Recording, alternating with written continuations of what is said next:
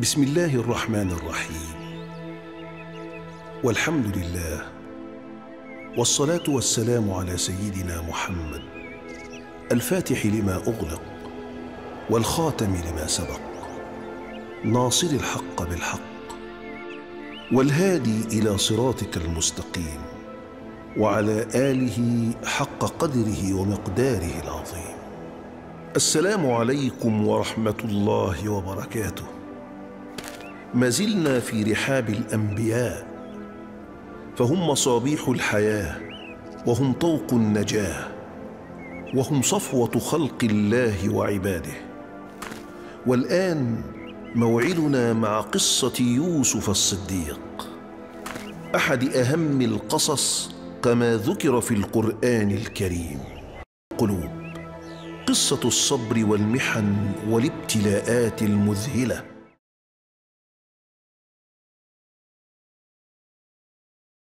هذا هو نبي الله يعقوب وقد مسه الكبر وظهرت عليه أعراض الشيخوخة وفقد بصره حزنا على ولده يوسف الذي فقده ولم يعلم عنه أي شيء حتى الآن وهو ما زال يدعو الناس إلى توحيد الله وإفراده بالعبادة.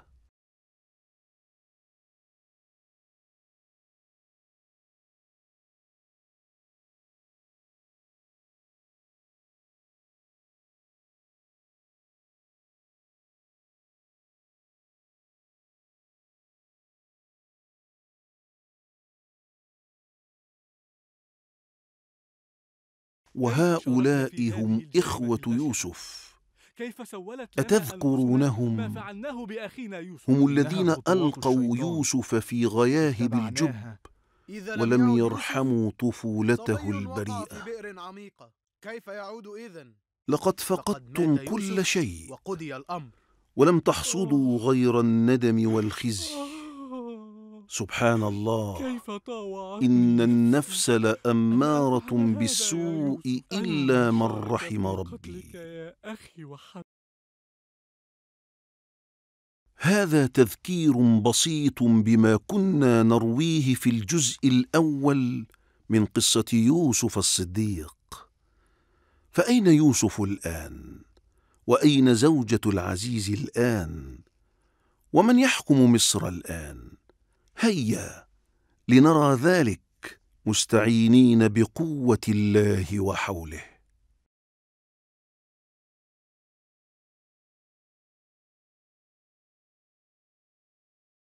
ظل يوسف الصديق يدعو إلى الله الواحد الأحد إلى توحيده وترك الشرك وعبادة الأصنام.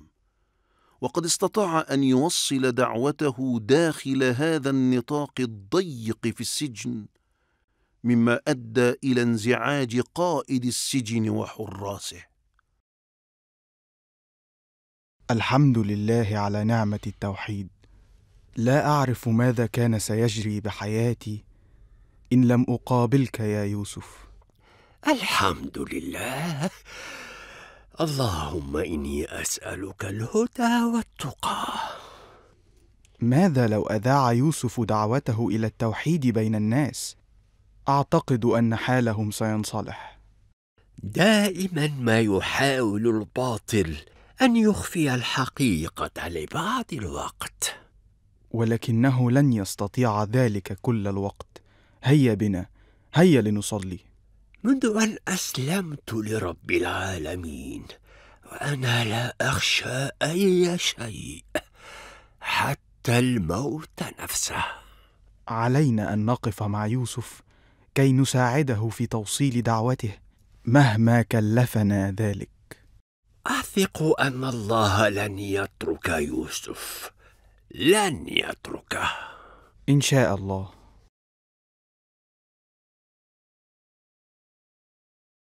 إن يوسف منذ أن جاء إلى السجن لم يزعج أحدا ولم يتشاجر ولم يتلفظ بما يسيء لأحد فمن أين جاء بهذه الأخلاق الكريمة؟ سيدي القائد لقد زاد الأمر عن حده مع يوسف أعلم أن الناس تستجيب لدعوته هل سنصمت على هذا؟ هل سنصمت حتى يتحول السجن إلى معبد يا سيدي القائد؟ ليس لنا أي سلطان على قلوب الناس يا إخنابين علينا فقط أن نحافظ على قوانين السجن ونظامه. سمعا وطاعة أيها القائد.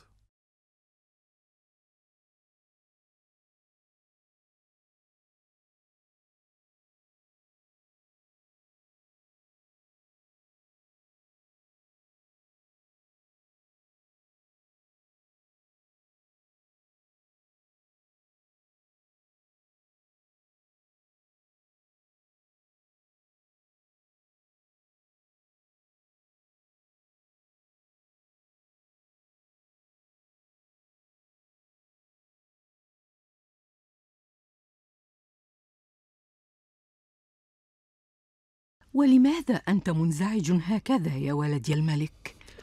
هذه الرؤى التي رأيتها يا أمي كاد أن يشيب رأسي منها. فماذا رأيت يا ولدي؟ قص علي رؤياك.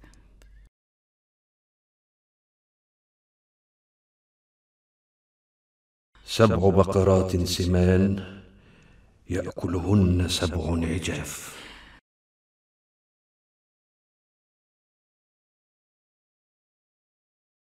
هذه الرؤى الغريبة لا أدري ولا أعلم أي تفسير لها. يا زخار! يا زخار! سمعا وطاعة يا مولاي. أريد كل مفسر الرؤى في هذه البلاد. ماذا جرى يا مولاي الملك؟ نفذ ما أقوله لك دون جدل يا زخار. سمعا وطاعة يا مولاي. ماذا بك يا ولدي؟ لم أرك بهذه الحالة السيئة طوال عمري. ماذا بك؟ أشعر أن هناك أمرا جللا في انتظارنا يا أمي. هذه الأيام القادمة ربما تكون عصيبة. يا ولدي أنت في بداية حكمك للبلاد والحكم يحتاج إلى الحكمة. فاصبر اصبر قليلا يا ولدي. أصبر على ماذا يا أمي؟ أنا لا تفارق عيني هذه الرؤيا سبع بقرات سمان يأكلهن سبع عجاف. سبع بقرات سمان. اسمع يا ولدي سيأتيك المفسرون بما تريد. فلا تتعجل. هيا هيا يا ولدي الملك هيا.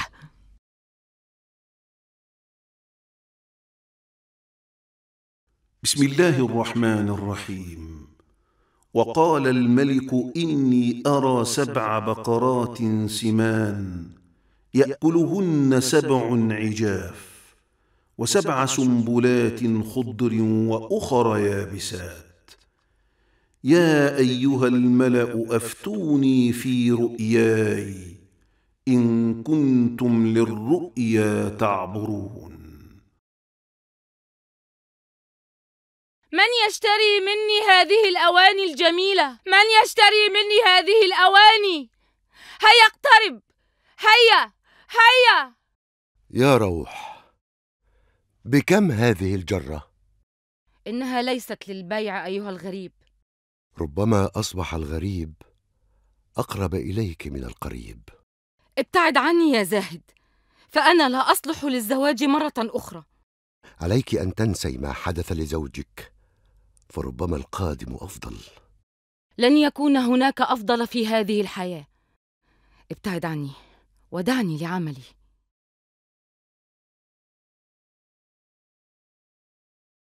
هيا هيا يا زاهد.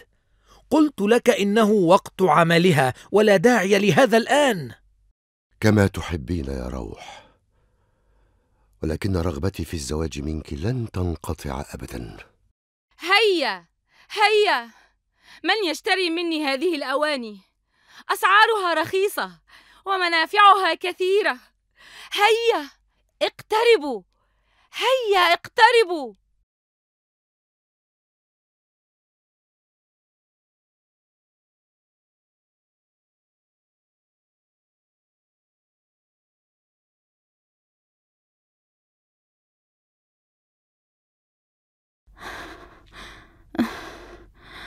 لم أكن أعرف أن الحمل إلى هذه الدرجة صعب وثقيل. استريحي يا زوجتي الجميلة يا أم ولدي القادم. أنا في غاية الإرهاق يا بناروث لقد هانت الأمور يا حوراء. ترى أولد هو أم بنت؟ ماذا تريد أنت يا زوجي الحبيب؟ أريد بنتا مثلك يا جميلتي. أريده ولدا يشبهك. لا تتحدثي كثيرا يا حبيبتي. فقط استريحي. يا ليت كل الرجال في رقتك وعذوبة كلامك يا بيناروث لا أدري ما الذي يجري في قصر الملك. ما الذي يجري في القصر يا بيناروث؟ الملك يوحاروب رجل عنيد ولديه أفكار جديدة قد تزيد الحياة توترا.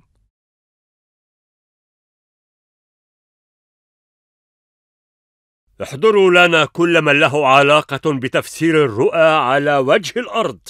هيا هيا.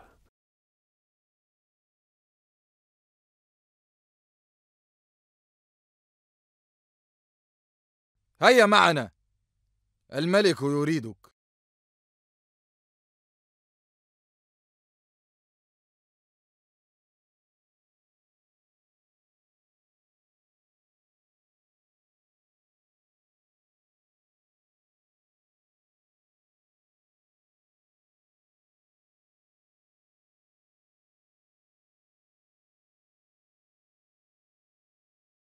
مولاتي الملكة هل أنت بخير؟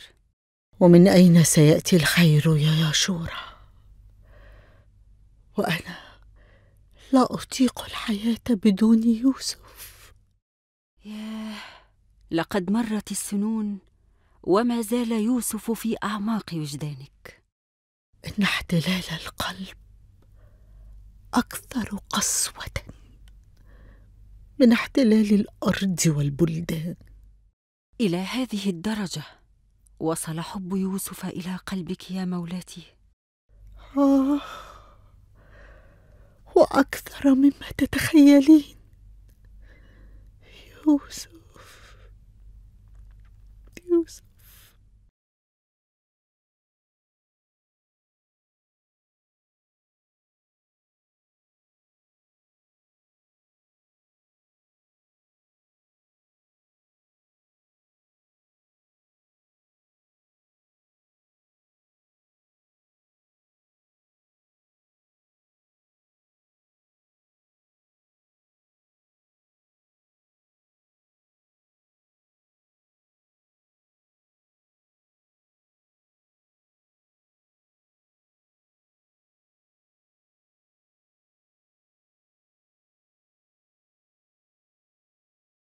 بسم الله. اللهم صل صلاة كاملة. وسلم سلاما تاما على سيدنا محمد النبي الأمي الذي تنحل به العقد وتنفرج به الكرب وتقضى به الحوائج وتنال به الرغائب وحسن الخواتم ويستسقى الغمام بوجهه الكريم. وعلى آله وصحبه عدد كل معلوم لله. لقد اجتمع المفسرون عند يوحاروب ليروي لهم هذه الرؤيا. لقد جمع كل من له علاقة بالتفسير والأحلام.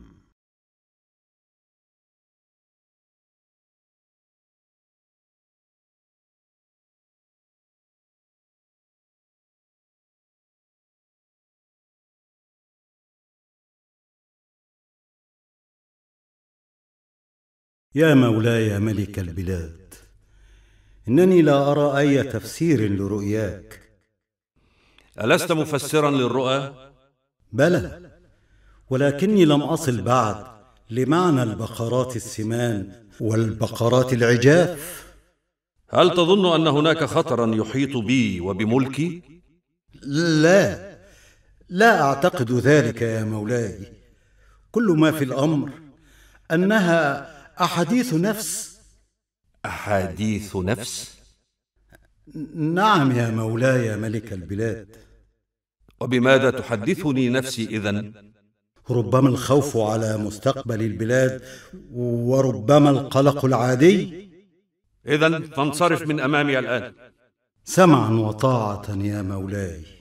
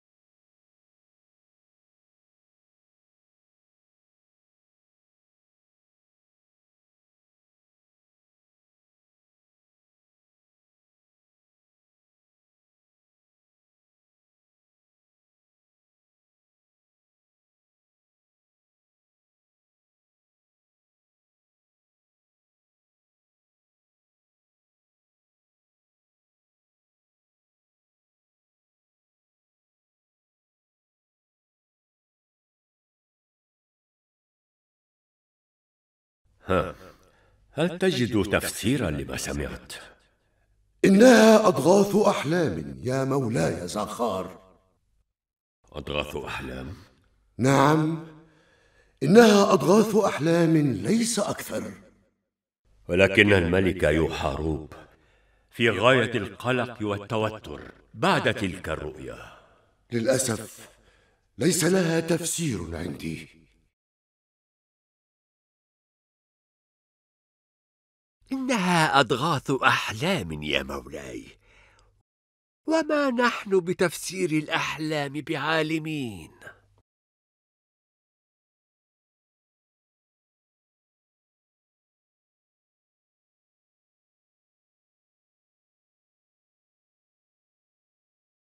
إنها أضغاث أحلام وما نحن بتفسير الأحلام بعالمين.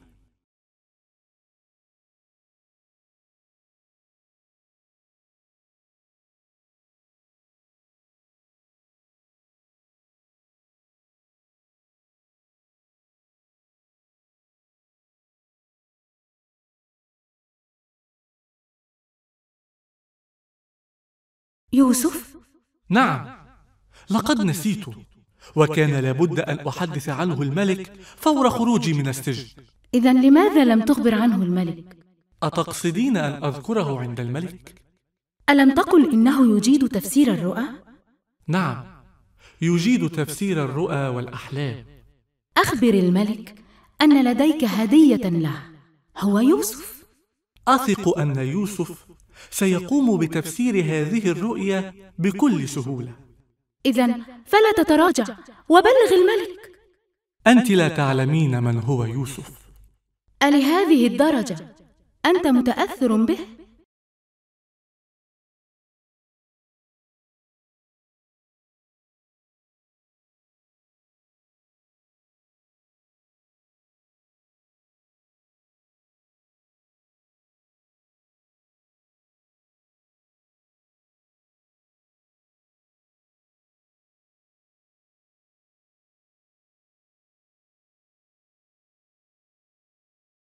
لاخور لماذا يجمع الملك يحارب كل هؤلاء المفسرين للرؤى؟ يقولون إنه منزعج جدا من هذه الرؤيا يا كبير الكهنة. يا ليت لنا في تفسير هذه الرؤيا. إذا لعلمنا ما سوف يحدث لهذه البلاد في قادم الأيام. لقد فشل الجميع في تفسير هذه الرؤيا. الجميع. وكيف يكون ذلك. ماذا تتوقع من أناس يضربون الودع ويتأولون بما لا يعرفون؟ آه. من لي بهذا الكرسي؟ عرش هذه البلاد. إنه حلمك الأبدي يا كبير الكهنة ولن أتخلى عن هذا الحلم أبدا. لن أتخلى عنه أبدا. لماذا نجد أن ملك البلاد متوترا إلى هذه الدرجة يا عزيز مصر؟ ربما هو يخشى على ملكه من أي أذى يحيط به. ملك البلاد متوتر جدا يا عزيز مصر. هل لديك من أخبار عن يوسف؟ يوسف؟ نعم. نعم يا زخر. أشعر أن ظلما كبيرا قد وقع عليه. لقد كان فتى مهذبا. لم نر منه إلا كل وفاء وإخلاص في عمله. زخر. أريد أن أطمئن عليه. فرغم كل شيء هو وقع في مأزق كبير. سمعا وطاعة يا عزيز مصر.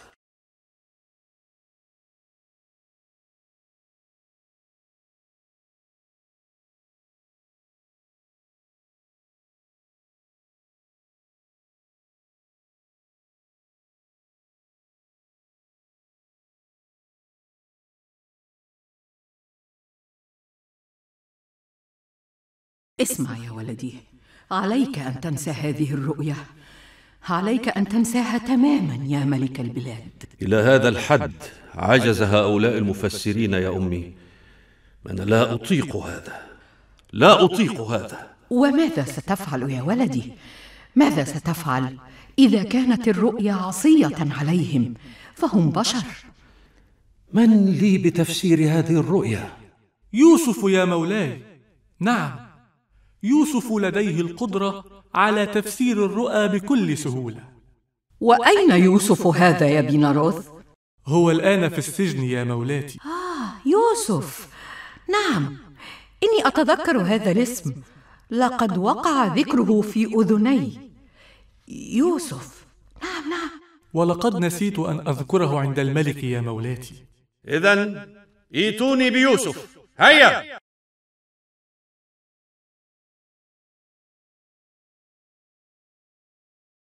هل لي بخروج من هذا العذاب من سبيل؟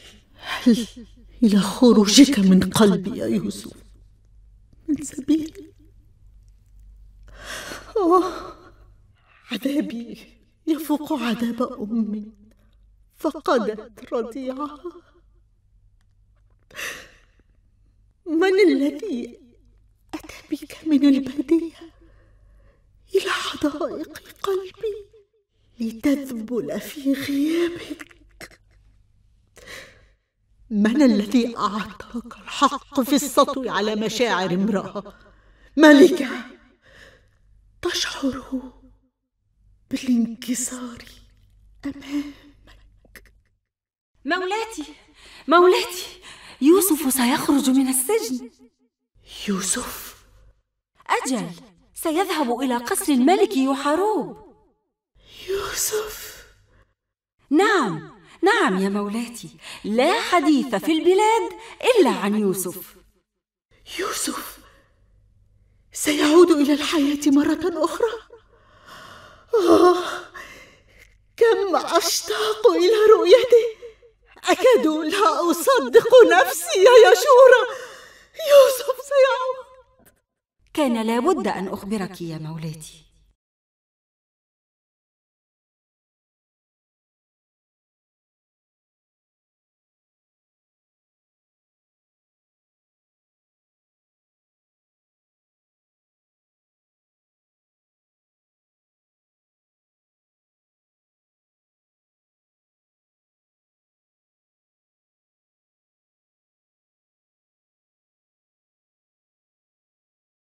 سيدي هل علمت ما يقال في البلاد؟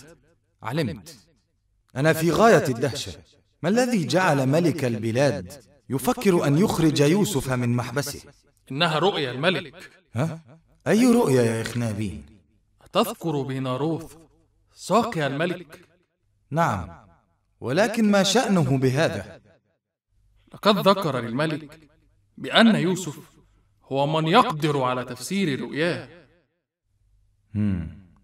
وبهذا سيصبح يوسف مقربا من العرش وصديقا للملك.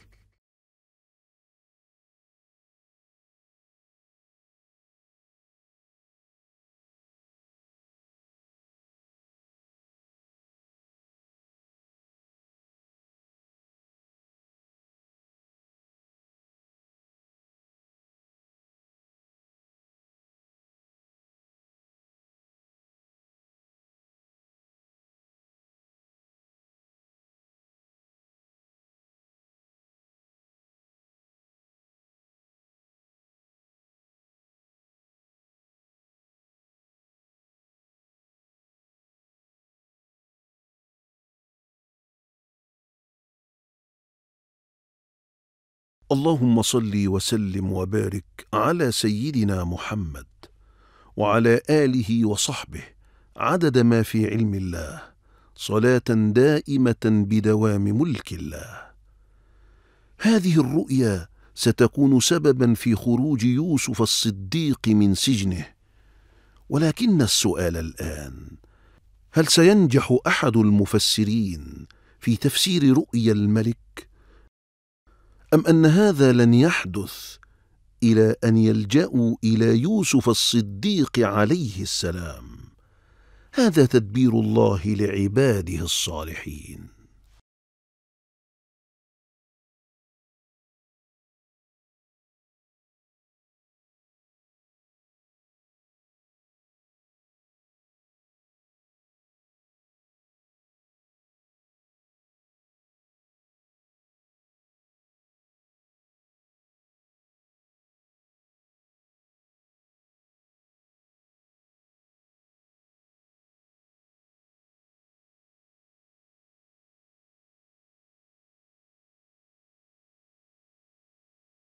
لخور من يوسف هذا الذي لجأ إليه الملك يحارب ليفسر له رؤياه لا أعرف عنه أي شيء يا كبير الكهنة.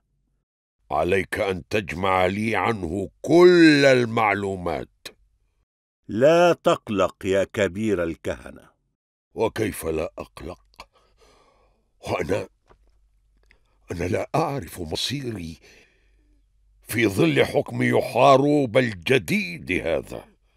علمت بأن يوسف هذا في السجن ولكن سأوافيك بمعلومات أكثر عنه.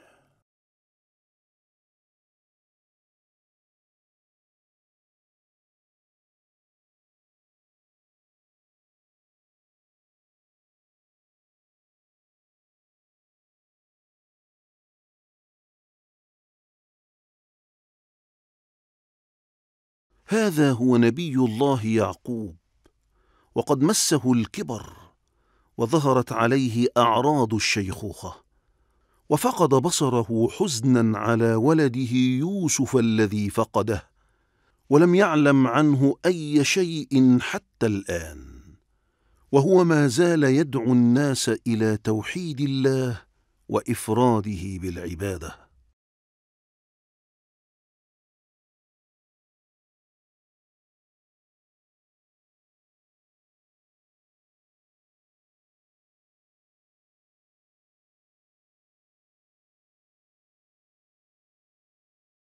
لدي شعور قوي بأن يوسف في هذه البلاد يا زاهد.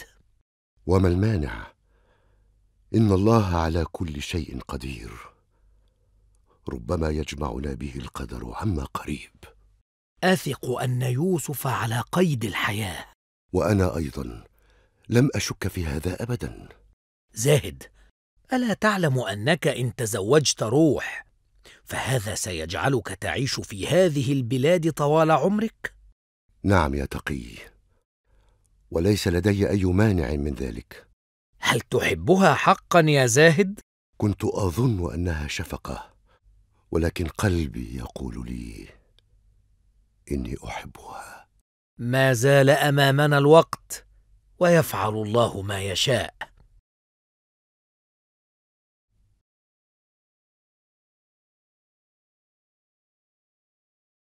يقولون إن يوسف الكنعاني سيخرج من السجن بأمر الملك. إنه يجيد تفسير الرؤى. الرؤيا أزعجت الملك إلى حد كبير. إنه يخاف على ملكه بلا شك.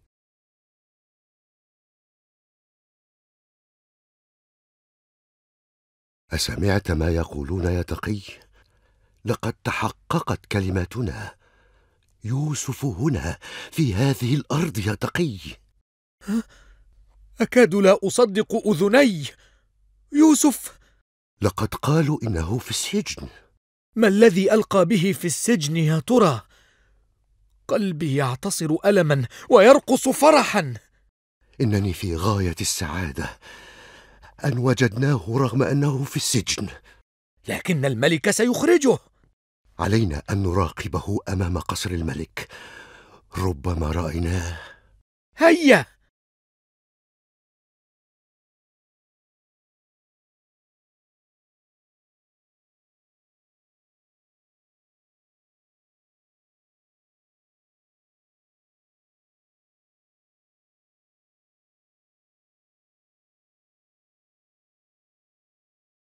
الملك يحاروب أمر بخروج يوسف من سجنه؟ هذه آخر معلومات وصلت إلينا يا عزيز مصر. الرؤيا الرؤيا أزعجت ملك البلاد. ساقي الملك الذي يدعى بناروث هو من نصح ملك البلاد بالاستعانة بيوسف. زخار هل علم أحد في القصر بهذه المعلومات؟ لا أعرف أيها العزيز فالخبر قد أشيع في البلاد. لا أدري كيف ستكون المواجهة يا زخار. أي مواجهة يا مولاي؟ مواجهتي بيوسف فهو شاب هادئ ملتزم ولا أدري كيف حدث ما حدث. دع الأيام تظهر ما بها من أحداث يا مولاي ولا تتعجلها.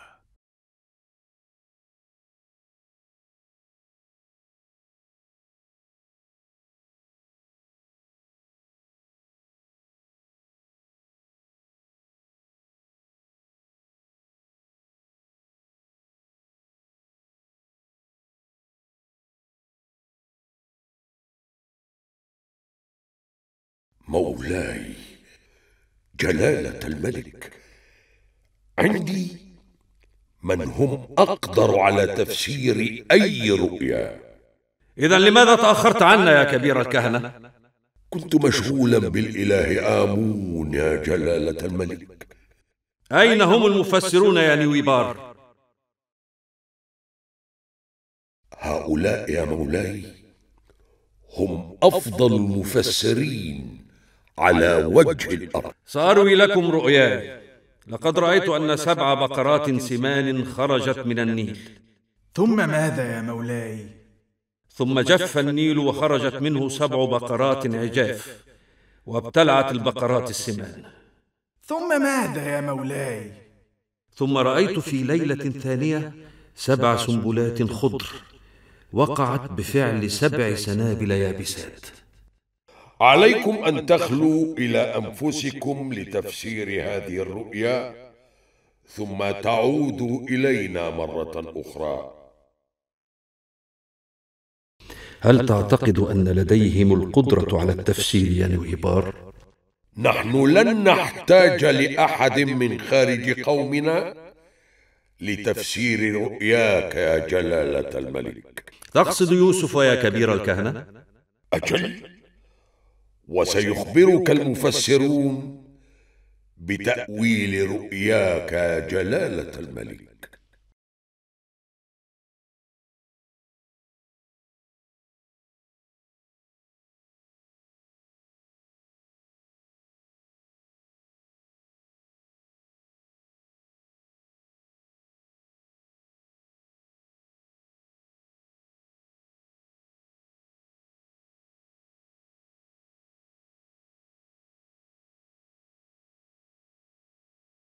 يوسف الذي كان في قصر عزيز مصر نعم صاحب القضية المشهورة أتذكرها؟ أشكرك على هذه المعلومات يا إخنابين ولكن ماذا عن طباعه وأخلاقه؟ هو شاب هادئ وكان الناس في السجن يحبونه وماذا عن عقيدته؟ إنه يدعو لعبادة إله واحد شكرا يا إخنابين شكرا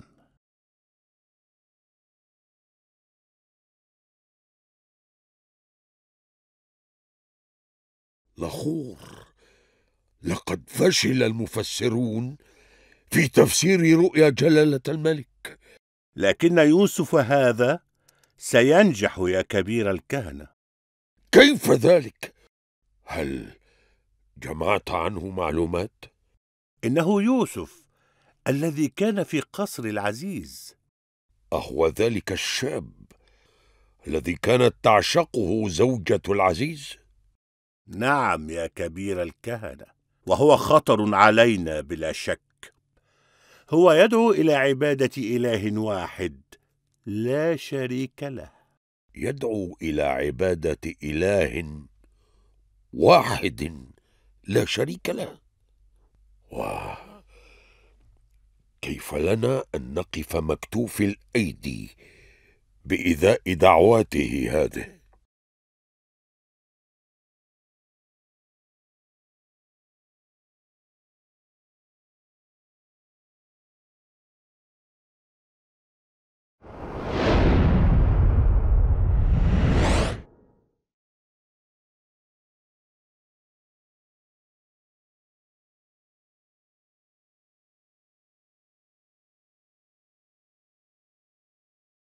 افتحوا الأبواب فورا. هيا! افتحوا الأبواب!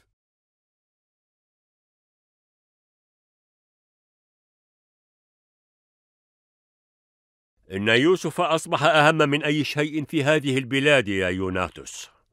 ألهذا الحد تبدو أهميته يا مولاي القائد؟ طبعا. فالملك يريد تفسير الرؤيا وقد فشل الجميع. أرجو أن يكون يوسف. عند حسن ظن الملك. يحاروب ملك شاب. يريد أن يحقق ذاته كحاكم ناجح. ولا يأخذ البلاد لأي شر. وهل في رؤياه ما يحمل الشر لهذه البلاد؟ هو قلق جدا. ولا بد لنا من مفسر قوي للرؤيا.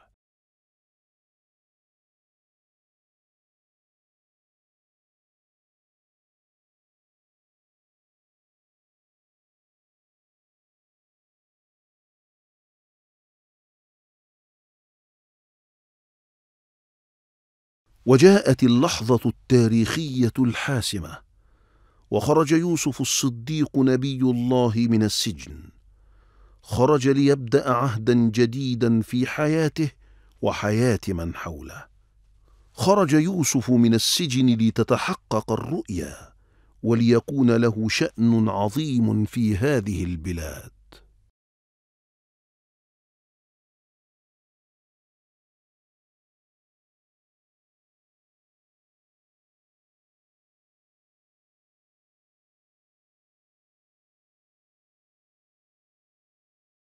يوسف لقد اشتقت إليك يا صديقي. يوسف لقد جئنا إليك في أمر جلل.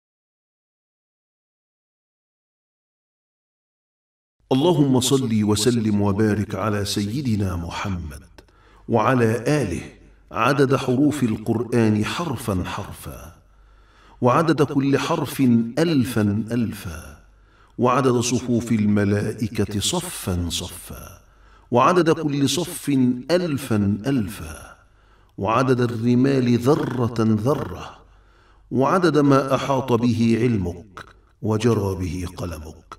ونفذ به حكمك في برك وبحرك وسائر خلقك. ذهبوا إلى السجن ليخرجوا يوسف الصديق عليه السلام. لقد اقترب الفرج يا نبي الله وهكذا تمضي الحياة عسرا ويسرا شدة وفرجا. ولكن يوسف أحدث مفاجأة غير متوقعة.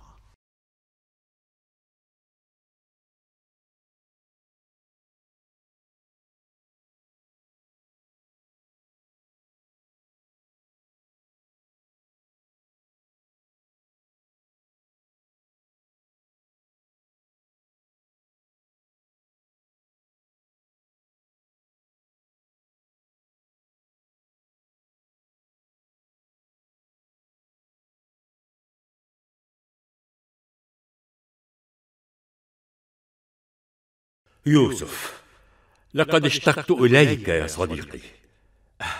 يوسف لقد جئنا إليك في أمر جلل. يرد يوسف عليهم السلام ويسألهم عن هذا الأمر. يوسف أيها الصديق لقد رأى الملك رؤيا أفزعته كثيرا ونريد تفسيرا لها. رأى الملك سبع بقرات سمان يخرجن من النيل. ورأى سبع بقرات عجاف يخرجن أيضا ويرعون مع بعضهم. ثم السبع العجاف يأكلن السبع السمان ورأى أيضا سبع سنابل خضر وأخر يابسات. ماذا تقول في هذا يا يوسف؟ فسر لهم يوسف الرؤيا وقال تزرعون سبع سنين متواصلين. فما زرعتم دعوه في سنبله إلا قليلا مما تأكلون. ثم يأتي بعد السبع سنين هذه سبع شداد يأخذن ما قدمتم لهن.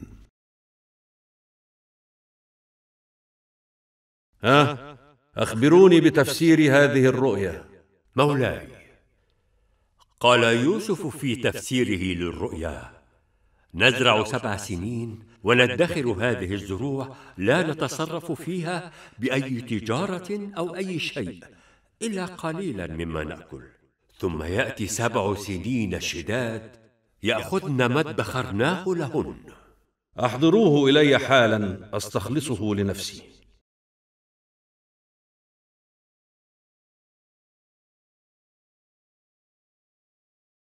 أبشر يا يوسف. لقد أمر الملك يوحاروب ملك مصر بخروجك من السجن. فأجابهم يوسف بأن يعودوا إلى الملك فيسألوا عن النسوة اللاتي قطعن أيديهن.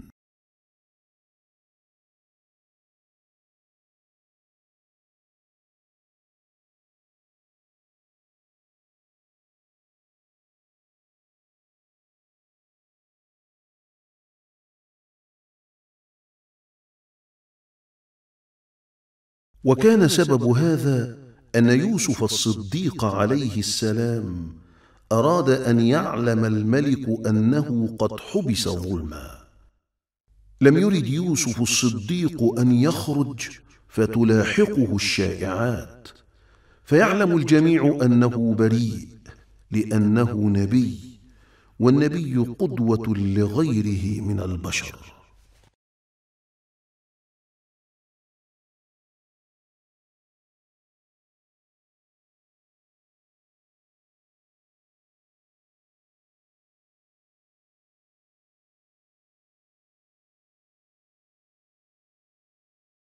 مولاي لقد رفض يوسف أن يغادر السجن قبل أن نسأل النسوة اللاتي قطعن أيديهن عن حقيقة مراودة يوسف عن نفسه. ماذا تقول؟ كيف لمسجون أن يشترط علينا شرطا لقدومه إلينا؟ مولاي علينا أن نواجه عزيز مصر وزوجته بما قال ونسأل النسوة عن حقيقة هذا الأمر. أهذا هو الفتى العبراني. الذي أحبته زوجة العزيز؟ نعم يا مولاتي هو يوسف. عن أي حكاية تتحدثون يا أمي؟ زوجة العزيز يا ولدي. ما لها؟ أحبت يوسف.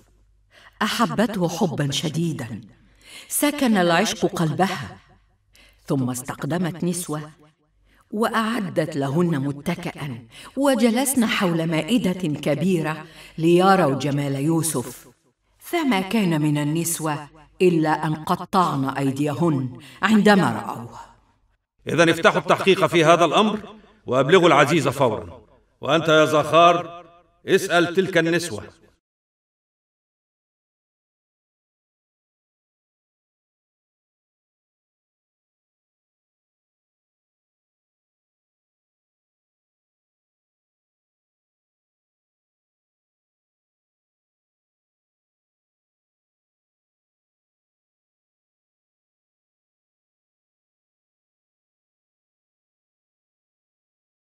ماذا تقول يا زخار؟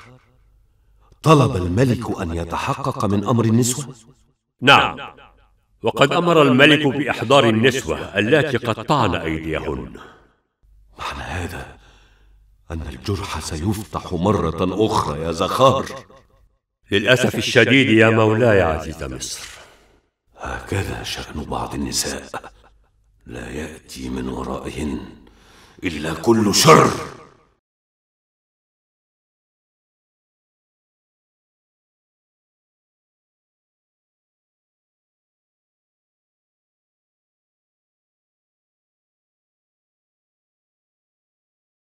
الملك أمر بفتح التحقيق في قضية يوسف.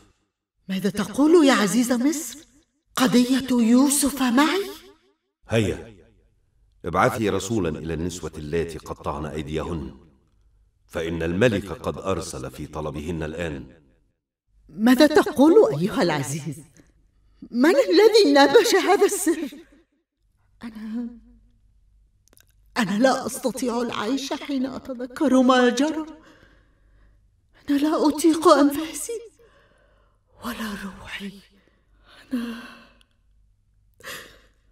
أنا بائسة. يائسة من حياتي. يائسة. هذا الشاب البريء سيخرج من السجن وسيدخلني أنا سجن العذاب. فأنا من ألقيته في السجن دون وجه حق. هذا هو العقاب يا زوجة العزيز. هذا هو ثمن العشق وثمن تلك المغامرة.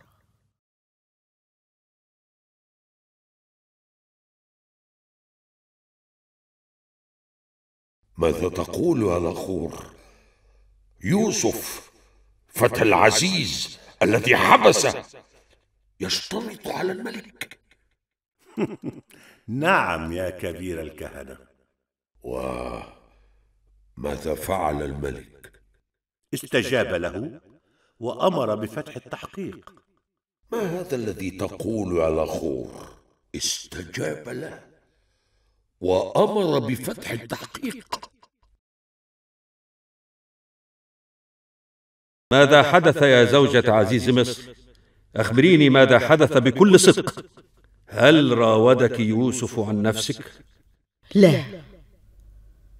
أنا راودته عن نفسي. ويوسف بريء يا ملك مصر.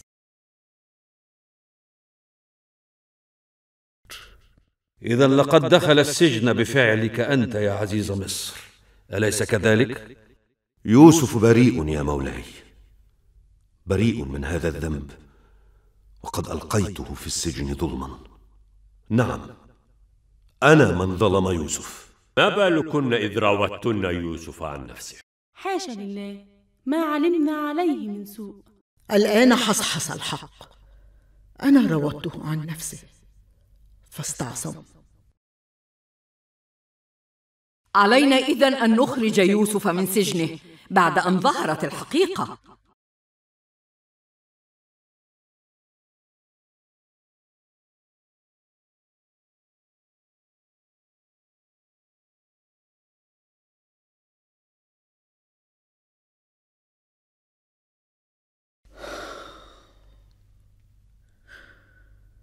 قضي الأمر يا زليخة. قضي الأمر. من الذي فتح هذا الجرح الغائر مرة أخرى؟ هذا جزاؤك يا زليخة. أنت. أنت التي تدفعين ثمن اندفاعك وراء مشاعرك. أنت. ماذا حدث هناك في قصر الملك يا مولاتي؟ حدث ما لم يخطر ببال أحد. لقد برأت يوسف من كل شيء. إذا فعليك أن تنسي كل ما حدث. أنسى ما حدث. إن ما حدث لا يريد أن ينساني. فكيف لي أن أنساه؟ هل أحضر لك الطعام يا مولاتي؟ لقد أكلت يا يشورة لقد أكلت سنين عمري ولم يتبق منها. غير القليل البائس.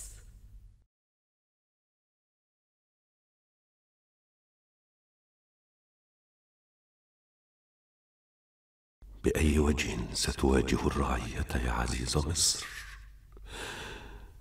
بأي وجه وبأي شموخ ستقف على منصة الحكم لتأمر وتنهى؟ لقد انكسرت. أنت انكسرت أمام جنودك. أنت في حالة سقوط حالة سقوط شديد في أعماق العار. والخزي انتهيت. أنت انتهيت يا عزيز مصر. انتهيت. أهكذا. أهكذا يا عزيز مصر. قضت عليك امرأة متهورة. لقد انتهيت. انتهيت يا عزيز مصر. انتهيت.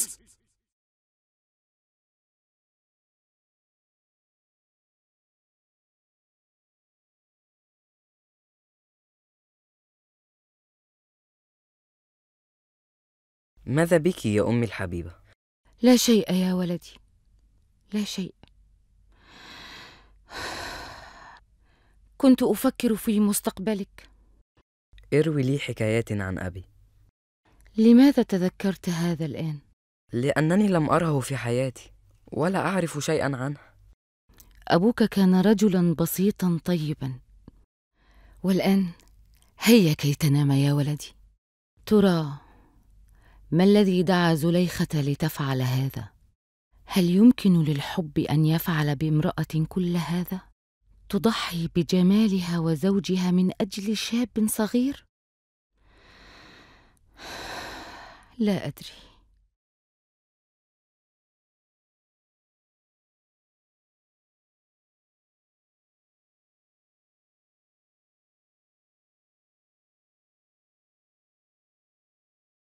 هيا أخرجوا يوسف من السجن.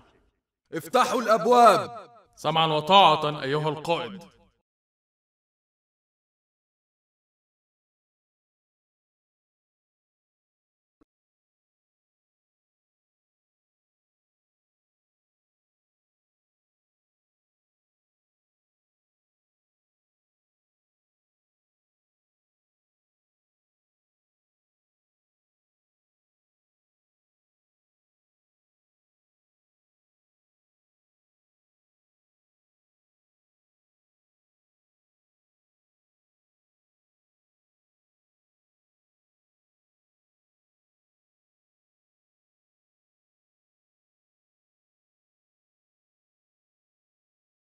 اللهم صل وسلم وبارك على صاحب الخلق العظيم والقدر الفخيم من أرسلته رحمة للعالمين سيدنا محمد وعلى آله وصحبه.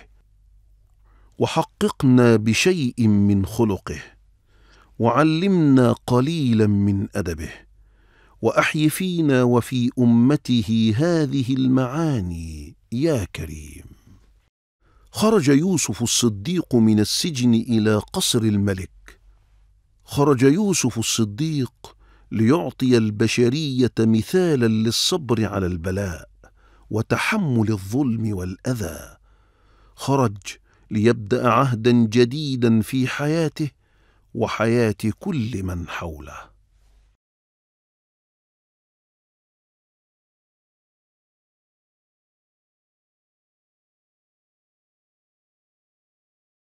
أنا في غاية السعادة يا حوراء. لقد خرج يوسف من السجن. لقد نجح في تفسير رؤيا الملك. أعتقد أن يوسف سيكون له مكانة كبيرة في قصر الملك. ولكنه كان امرا غريبا عندما اشترط ألا يخرج من السجن إلا بعد أن تظهر براءته. كان قويا وعنيدا لأنه على الحق يا حوراء. ليس غريبا أن تقع زوجة العزيز في حب يوسف. هذا ما حدث. وكيف يمكن لها أن تواجه الناس بعد ذلك؟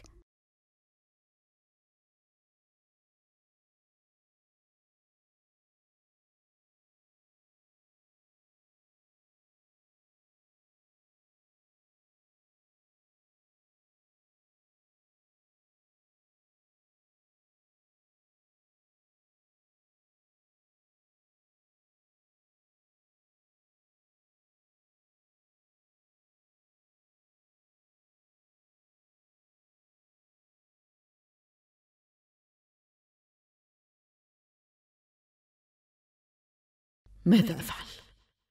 هل أتخلص من حياتي؟ لقد أظلمت الدنيا بعيوني. زوجي ينهار ملكه وقد يزول.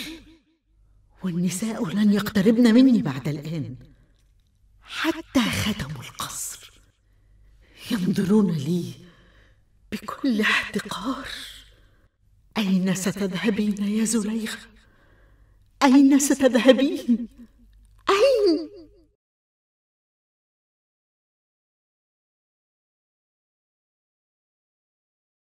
لقد خرج يوسف من السجن الحديدي. ودخلت أنت أيها العزيز سجنا أكبر منه. آه لقد ضاقت الدنيا في عيني. وأظن أن نهايتي ستكون وشيكة. ما الذي جرى؟ ما الذي حدث؟ إلى هذا الحد. أصغر واصغر في أعين رعيتي. كيف؟ كيف أصبح أقل رجل من رجالي؟ أي رجل؟ أكثر مني شرفا. وزوجته أكثر من زوجتي عفة. لماذا تعيش؟ لماذا تعيش اذا أيها العزيز؟ لماذا تعيش؟ لماذا؟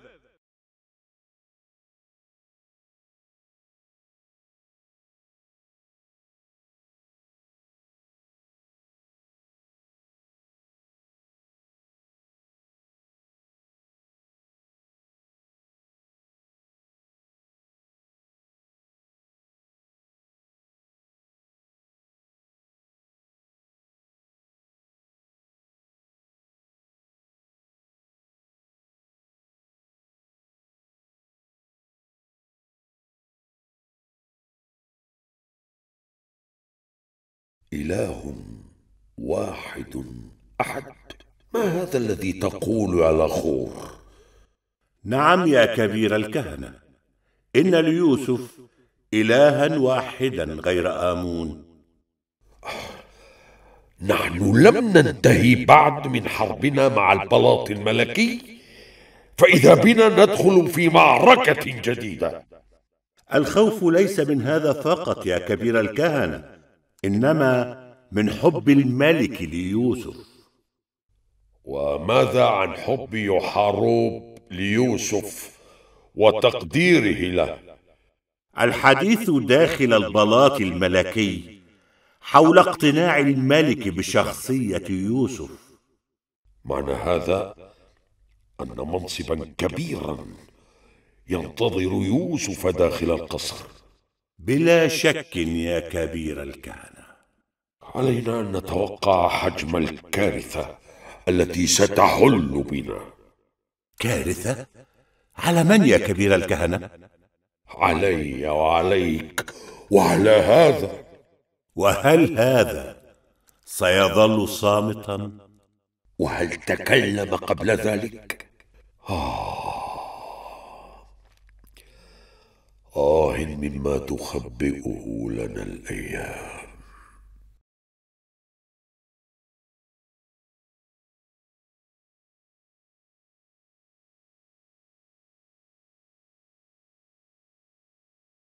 إنه شاب لافت للنظر في شخصيته البسيطة القوية وثقته بنفسه. أراك مهتما به يا ملك البلاد وتعتبره مكسبا حقيقيا. يكفي أنه أراحنا من تلك الرؤية وأخبرنا بما سيحدث لنا مستقبلا يا امي ولكنه يعبد إلها آخر غير أمون. هو حر يا أمي فيما يعبد. كل ما يهمني هو أن تستفيد البلاد من وعيه وحكمته. أظنك ستوليه منصبا كبيرا في ملكك يا ولدي. أظن ذلك. لا بد أن تستفيد منه البلاد. مضى وقت طويل ولم نعرف شيئا عن يوسف. يا روح! يا روح! ماذا تريد يا زاهد؟ آه هل فكرت في أمر زواجنا يا روح؟ لن أتزوج ابدا يا زاهد. فابتعد عني واذهب. اذهب. هيا يا زاهد. نحن نعتذر يا روح. هيا يا زاهد. هيا! أنا لا أعرف لماذا تصدني دائما. يا زاهد إن كان لك نصيب فيها فسوف تكون زوجتك. فاصبر.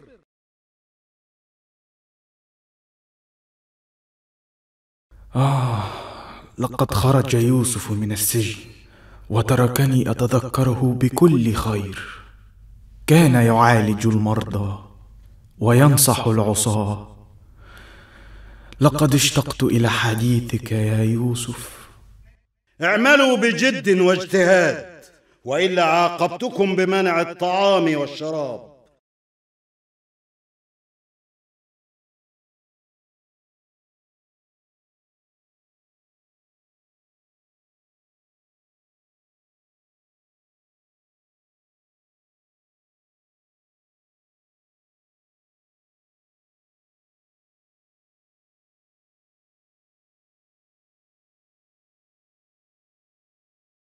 إخنابين هل تتوقع أن يصبح ليوسف شأن في البلاط الملكي؟ أعتقد ذلك بعد أن فسر يوسف هذه الرؤيا ستظهر الأيام القادمة ما تحمله لهذا البلد. أرى أن يوسف سوف يعتلي منصبا كبيرا في هذه البلاد. بسم الله الرحمن الرحيم.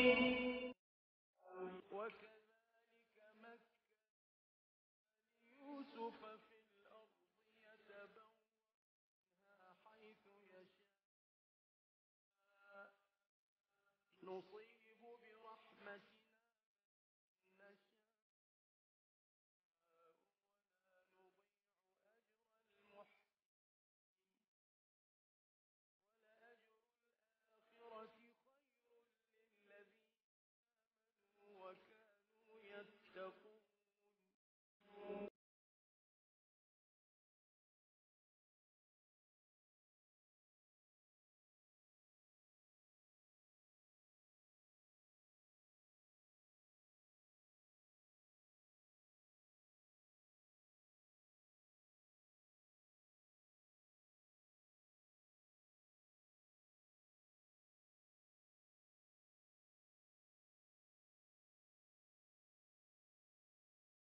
عندما ظهرت براءة يوسف عليه السلام ذهب إلى الملك. وقال الملك له إنك اليوم لدينا مكين أمين. قالها بعد جلوسه مع يوسف أكثر من مرة. فوثق من أمانته وصدقه.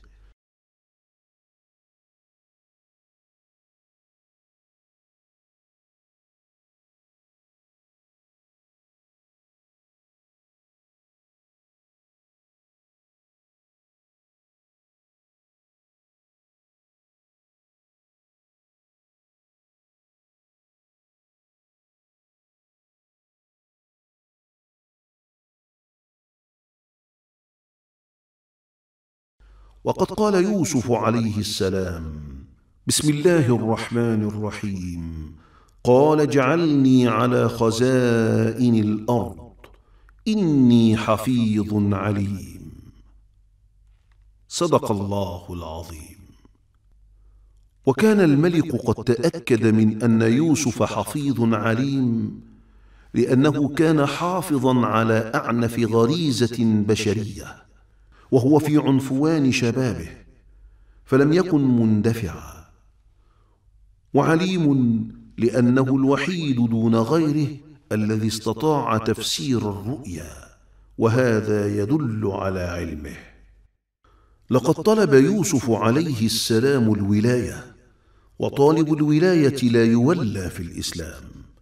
ولكن لا ننسى أنه نبي لا يطلب مثل هذا الشيء إلا بوحي من الله. فضلا عن أن الظروف التي أدت إلى تولي يوسف لم تكن ظروفا عادية بل كانت ظروفا استثنائية. ومن يحكم في هذه الحال لا بد أن يكون له من الحكمة والخبرة ما يجعله أهلا لها. هكذا هو حال الأنبياء. صلوات الله وسلامه عليهم.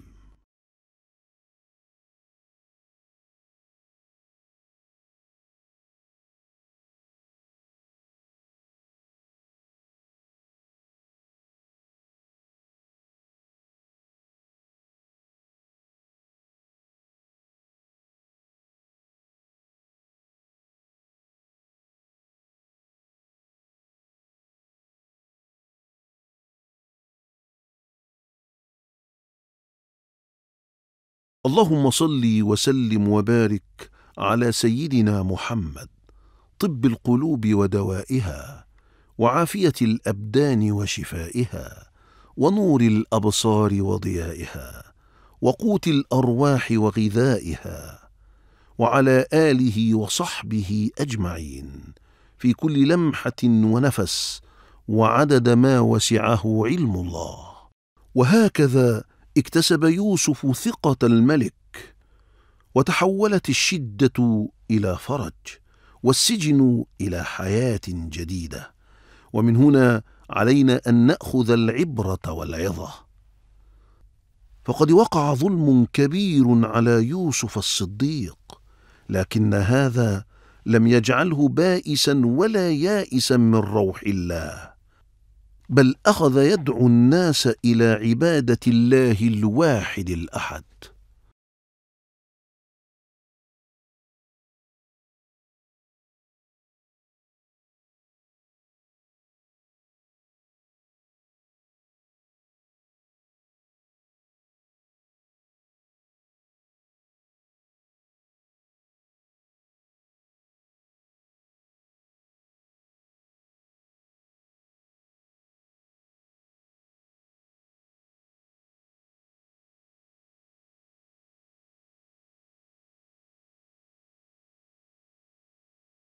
أرى أن يوسف سيفيد مصر إفادة عظيمة يا أمي. ولكن أفكاره غريبة. غريبة. كيف يا أمي؟ هو يتحدث عن إله واحد أحد لا شريك له ولا يؤمن بآمون. إلهنا. إن الكهنة هم من يستفيدون بآمون.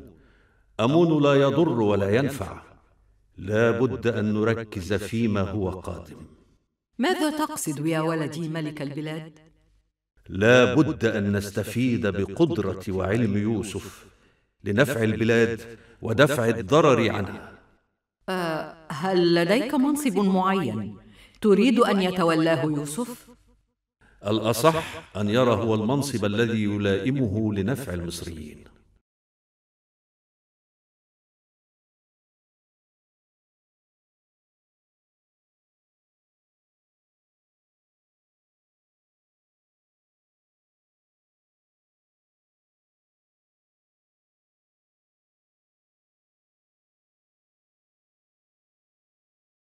هذا ما سمعناه يا كبير الكهنة من داخل القصر الملكي.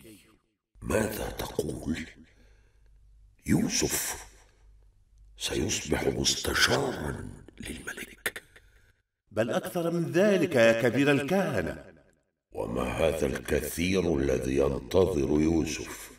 يقولون إن يوسف قد طلب من يوحاروب طلبا غريبا.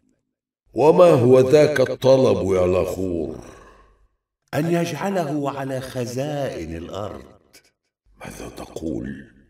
سوف يرفض الملك بالتأكيد. بالتأكيد سيرفض الملك. نعم سيرفض. فمن يوسف هذا؟ حتى حتى يكون أمينا على خزائن الأرض. فلننتظر. ماذا ستسفر عنه الأيام القادمة؟ يا زخار هل تعتقد أن يوسف مؤهل لتولي منصب كبير في البلاد؟ نعم يا مولاي يوسف مؤهل لهذا. لقد طلب يوسف أن يكون على خزائن الأرض وهو أمين وأنا أثق به. كلنا نشعر بالثقة والأمان معه يا مولاي. يكفي أنه الوحيد الذي استطاع أن يفسر هذه الرؤيا العجيبة. ولكن على مولاي الملك أن يحذر من الأعداء. أعداء. أي أعداء يا زخار أعداؤك يا مولاي وأعداء يوسف. هم كهنة المعبد. نعم نعم. أعلم أنهم لن يسكتوا أبدا على ارتفاع شأن يوسف في هذه البلاد. هم لا يرون إلا مصالحهم الشخصية يا مولاي. أعلم ذلك يا زخار. أعلم ذلك جيدا.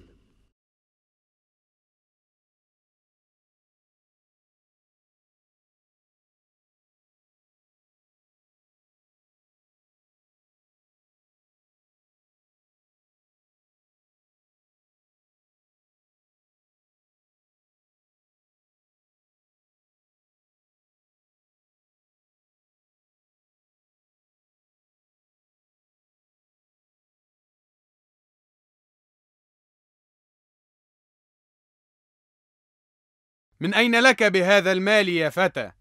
هو من كسب يدي فماذا تريد؟ هيا أعطني هذا المال. لن أعطيك مالي مهما جرى. إذا ستموت أيها الصبي الغبي. لن تستطيع فعل ذلك. أخرج ما معك من مال حالا.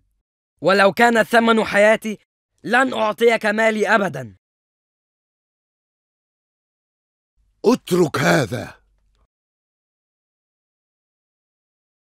وكفاك افتراء على صبي صغير يسعى على رزقه. من أنت أيها الرجل؟ وما شأنك؟ ليس لك شأن بهذا ولكن ابتعد الآن. هيا هيا!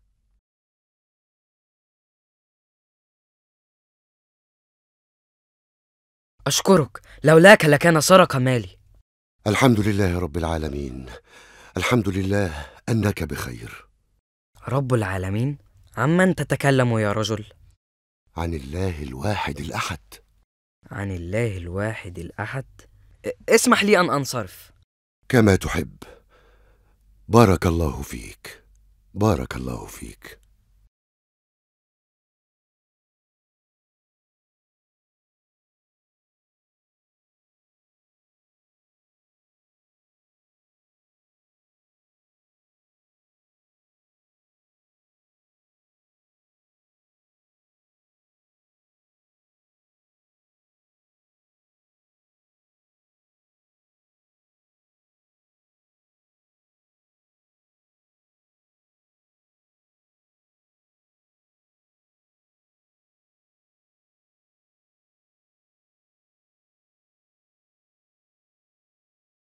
إن افتضاح الأمر كان متوقعا يا مولاتي. فلماذا كل هذا الحزن؟ الخزي والعار أمر لا يعرف مرارته سوى من عاش لكنه أمر وحدث ولا بد أن تتعايشي معه. أي تعايش بعد هذه الفضيحة؟ إنني إنني أتمنى الموت في كل لحظة. أتمنى الموت. عليك بزيارة الإله آمون حتى تستريح أعصابك المتعبة. الموضوع أكبر من آمون. فآمون لن يضمد جراحي الناسفة. أنا أنهار. أشعر بالانهيار. والضياع أنهار. يا يشورة أنهار آه علمت أن مولاي عزيز مصر في عزلة ولا يحدث أحدا. معه كل الحق. فقد جرح في كرامته وفي قلبه. وأنا السبب. أنا أنا السبب.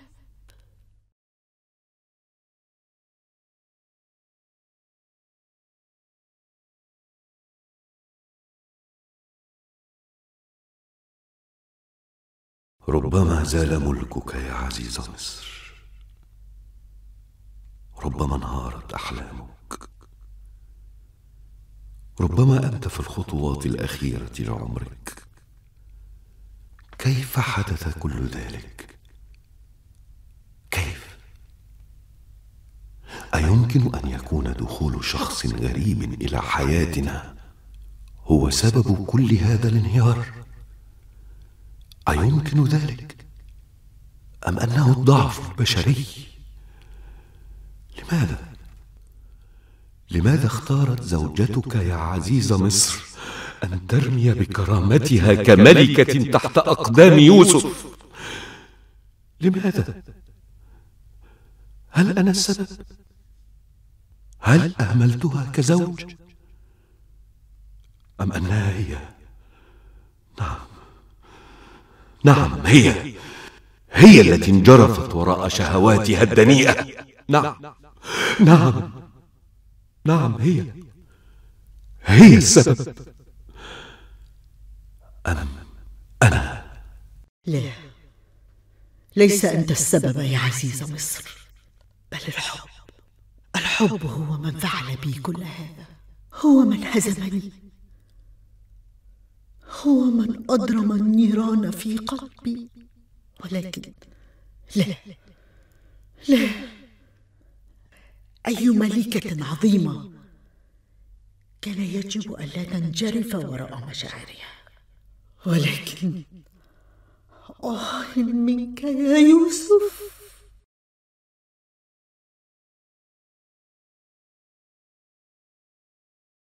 ولكن لماذا؟ لماذا لم ألحظ هذا الحب يا زوجتي؟ لماذا؟ لماذا وأنت بين عيوني؟ لم أرى في عينيك لمعة الحب والعشق. لماذا؟ لماذا؟ لا أعرف. لا أعرف كيف حدث كل هذا. ولكنه حدث. والآن أنا وأنت في قفص الاتهام نتجرع العار. وما أمر طعم العار. وعيون الناس تكاد تحفر لي قبرا ونظراتهم لي تقتلني. تذبحني.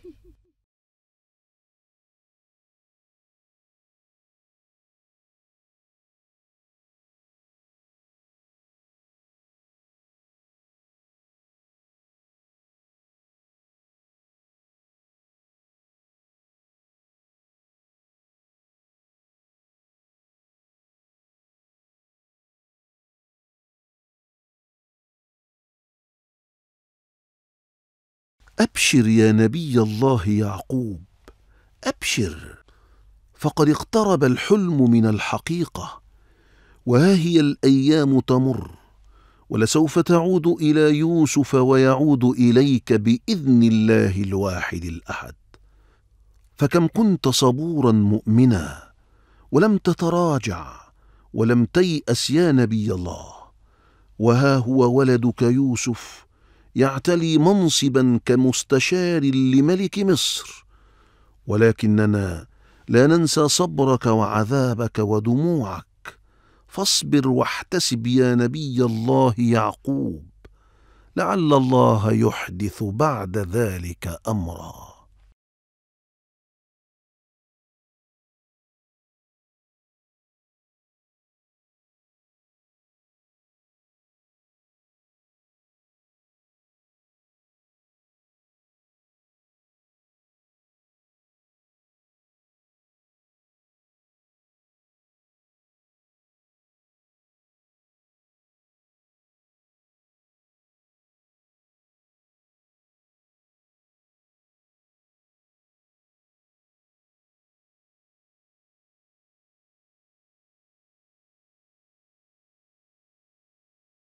بسم الله والحمد لله. والصلاة والسلام على سيدنا محمد الحبيب البشير الشفيع النذير الذي أخبر عن ربه بأن له في كل نفس مائه ألف فرج قريب. وسلم تسليما كثيرا. لقد امتلك يوسف بخلقه الكبير قلوب كل من حوله وقد تمكن بصدقه من الوصول إلى منصب يفيد الناس ليخرجوا من أكبر أزمة حدثت في تاريخ مصر.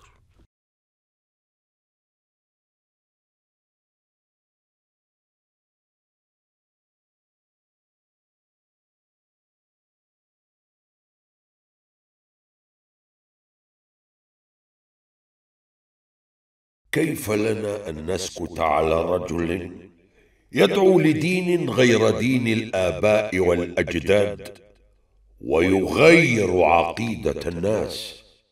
أنت لا تعرف كيف سيطر يوسف على كل هؤلاء. أنا لا أعرف ولا أريد أن أعرف أي شيء. أريد القضاء على يوسف وإعلان الحرب الخفية عليه. حرب خفية؟ ومن الذي سيتعاون معنا في هذه الحرب يا كبير الكهنة؟ سيتعاون معنا كل صاحب سلطة يخاف أن تضيع منه. اذا علينا بمن هم يتوقعون الضرر القادم وما أكثرهم. وأولهم الرجل الذي كاسره يوسف وجعله أضحوكة القوم. من تقصد يا كبير الكهنة؟ عزيز مصر وزوجته هما أكثر الناس تضررا مما فعله يوسف هذا. بالطبع.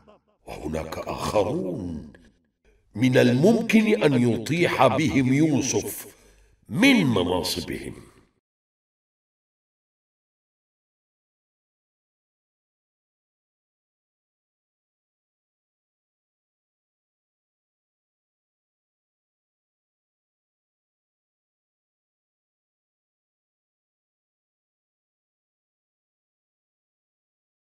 وأخذ يوسف الصديق يعلم الناس كيف يعدون أنفسهم للخروج من الأزمة القادمة. حافظوا على المحاصيل وادخروا قدر استطاعتكم وخذوا القليل مما يكفيكم فقط.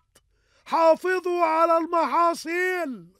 وأخذ يوسف الصديق يدير الأمور بحكمته النبوية حتى تخرج مصر من أزمتها التاريخية التي سطرها تاريخ الدول كأصعب مراحل مرت بها في التاريخ.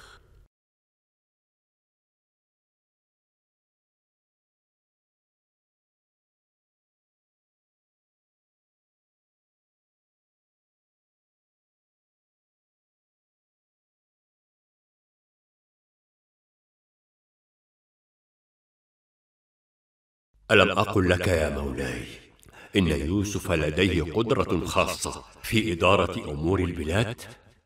يا زخار أنا لا أنكر أنني في حالة انبهار قصوى بيوسف فقد رتب وخطط وعلم الناس كل شيء بكل سهولة.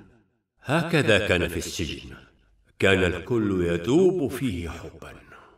كيف لرجل أن يغير أمة بأكملها في شهور بسيطة؟ إنها معجزة بلا شك. الحقيقة أن أعداء يوسف بدأوا يعملون ضده في الخفاء يا مولاي. كيف ذلك يا زخار؟ تابع الموقف أولا بأول وأبلغني فورا بما يحدث. سمعا وطاعة يا مولاي الملك. سأبلغك بكل ما هو جديد.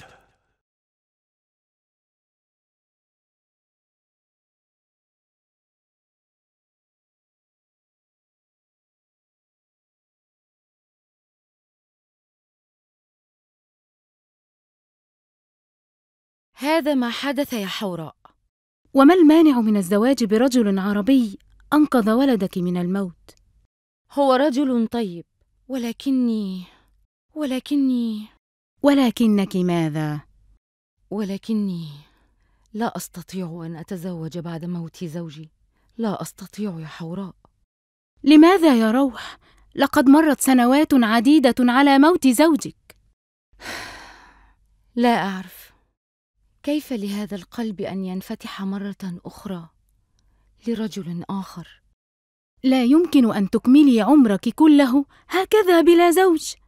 ولدي ملأ علي كل حياتي. نعم ولكنه سيتزوج عاجلا أو اجلا. فعليك أن تفكري جيدا.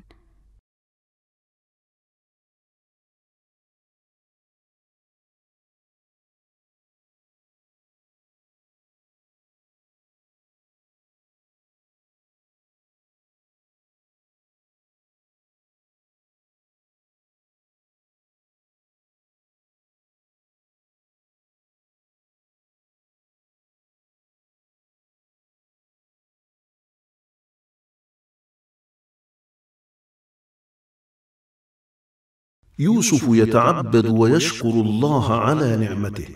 وما زال يدعو الناس لعبادة الله الواحد الأحد.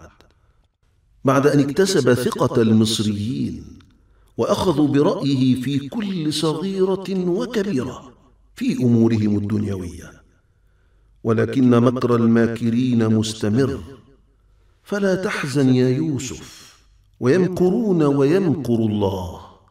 والله خير الماكرين.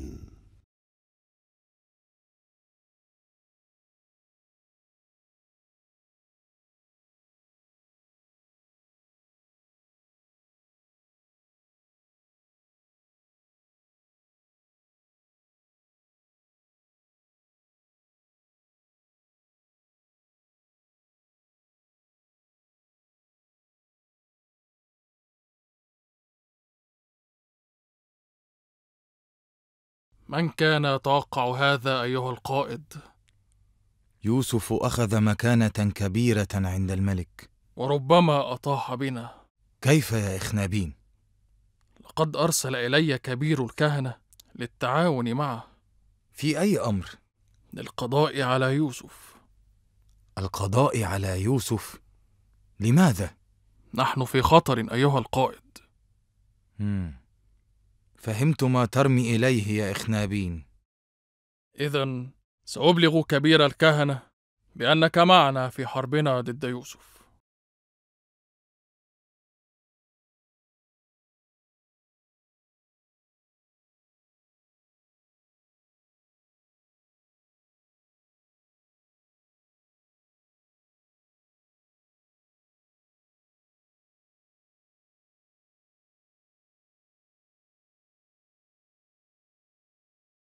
هيا اجمعوا المحاصيل.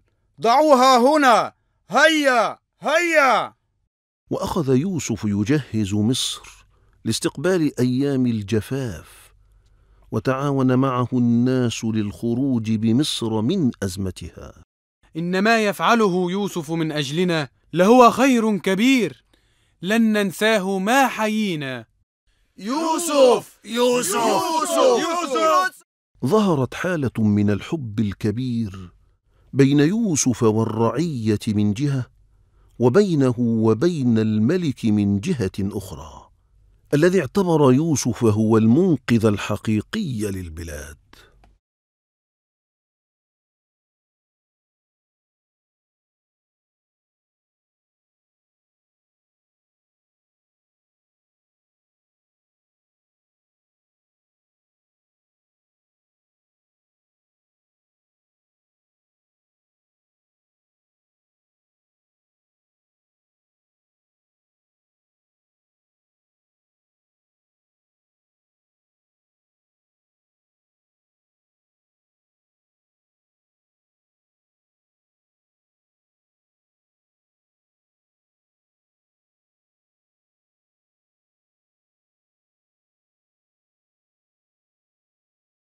والمطلوب ما هو المطلوب يا كبير الكهنة؟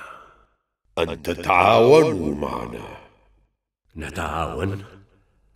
تقصد نعم أنت يا زخار وعزيز مصر وزوجته نتعاون كلنا ضد يوسف؟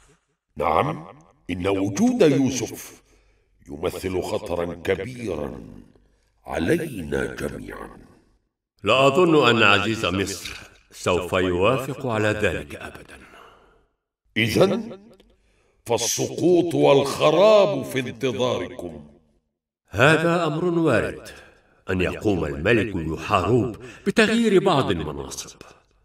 زخار أعرض على العزيز ما أقوله وأنا أثق أنه سيوافق على ذلك.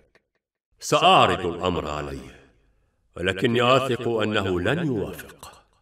أتظن؟ حتى لو كان الثمن. الإطاحة به وبملكه. أعتقد ذلك يا كبير الكهنة. مولاتي هل سيظل عزيز مصر هكذا؟ لا يتكلم مع أحد. يشورى حاولي أن تحدثي يوسف في هذا. من هذا الذي يستطيع أن يصل إلى مستشار الملك؟ لقد ارتفع شأن يوسف فوق ما يتخيل الجميع أنا أسعد الناس به وأتمنى أن أرى يوسف أكبر من هذا ولكن علي الآن أن أرعى زوجي المسكين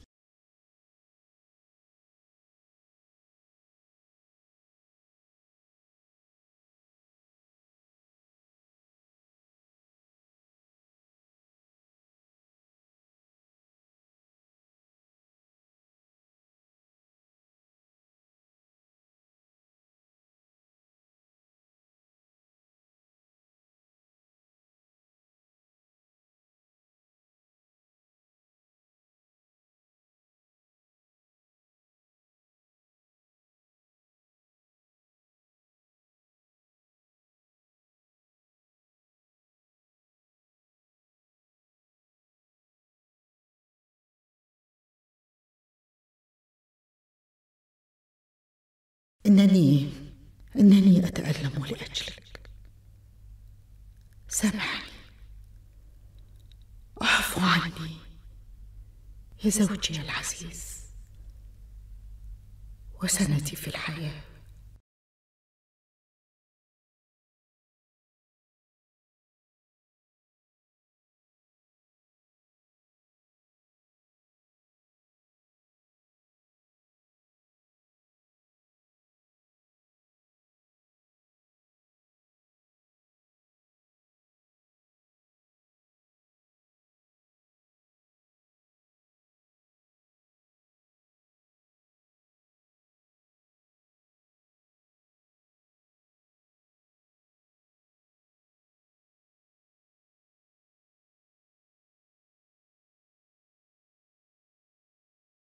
بسم الله والحمد لله والصلاة والسلام على سيدنا محمد.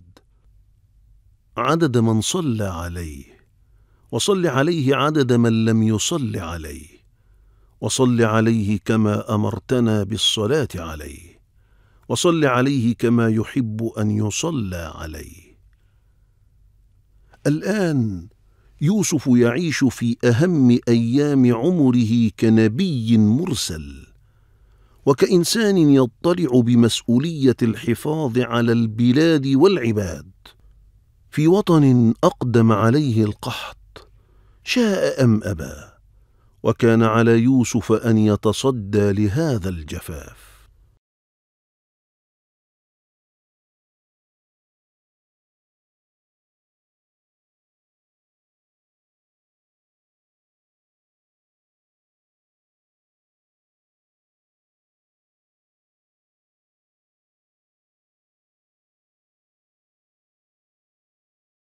ومما لا شك فيه أن لأعداء النجاح مكانا في الصراع بين الحق والباطل.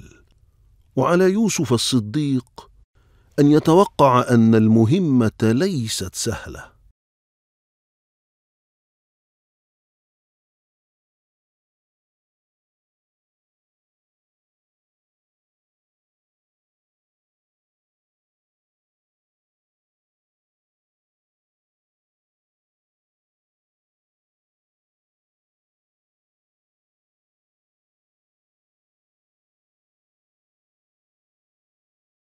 أرأيتم ماذا فعل يوسف بالناس؟ أرأيتم كيف امتلك قلوبهم بالحب؟ أرأيتم كيف اقتنع الملك بقدرات يوسف؟ ماذا تقول أيها السفيه؟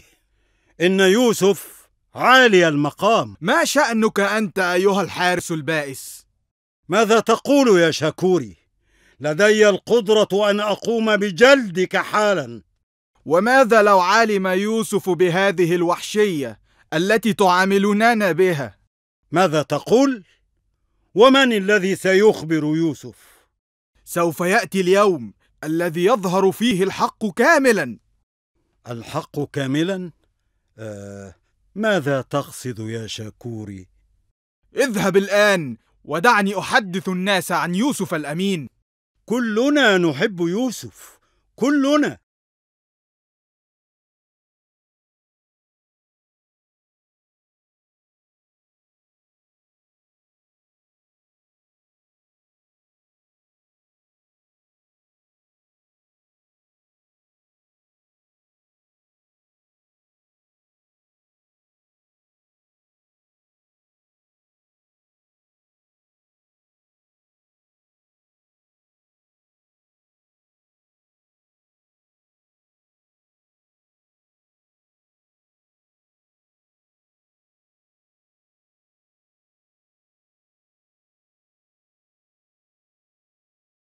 أيها العزيز لماذا قمت بطرد مولاتي؟ مولاي لماذا لا ترد على سؤالي؟ أنا مجهد ومتعب يا زخار. أنا رجل مهزوم مكسور في رجولته. لكن ما مضى قد مضى يا مولاي. زخار أنت لا تستطيع أن تتخيل ما أعانيه. أه لا لا طبعا. فاصمت. أصمت وقل لي لماذا جئت إلى هنا الآن؟ المؤامرات تحاك ضد يوسف. ماذا؟ المؤامرات تحاك ضد يوسف؟ ممن؟ المعبد. مم. هذا أمر متوقع جدا. فلقد صعد يوسف إلى مكانة عالية. وكلفوني أن أعرض عليك يا مولاي. الاشتراك معهم. الاشتراك معهم ضد من؟ يوسف؟ نعم يا مولاي يريدون القضاء عليه تماما. في بادئ الأمر ألقيه في السجن ظلما ثم بعد ذلك أتآمر عليه لأسقطه من منصبه. لقد قلت لهم هذا يا مولاي. قلت؟ قلت ماذا يا زخار؟ قلت إنك لن تفعل ذلك فهددوني بسخط الإله آمون. إن أفصحنا عن سر المؤامرة. لا لا لا لا أستطيع أن أفعل هذا ابدا مع يوسف. يوسف يوسف الطاهر النقي. يوسف يوسف من أنت؟ من أنت؟ وكيف دخلت إلى قصري وإلى حياتي؟ قل لي من أنت؟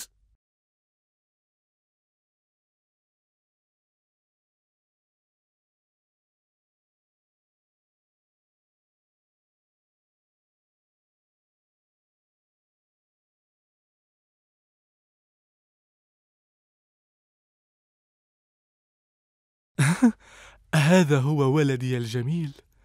أهذا هو ولدي؟ نعم يا بيناروث هذا ولدنا الجميل. لولا خوفي من قومي لسميته يوسف. هو ولدنا الحبيب كم أنا سعيدة بهذا الطفل الجميل.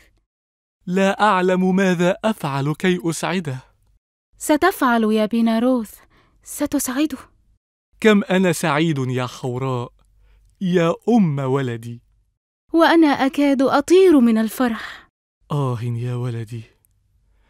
لولا أنك جئت في سنوات على وشك الجفاف. لا تخف. أرى أن يوسف سيساعد الناس.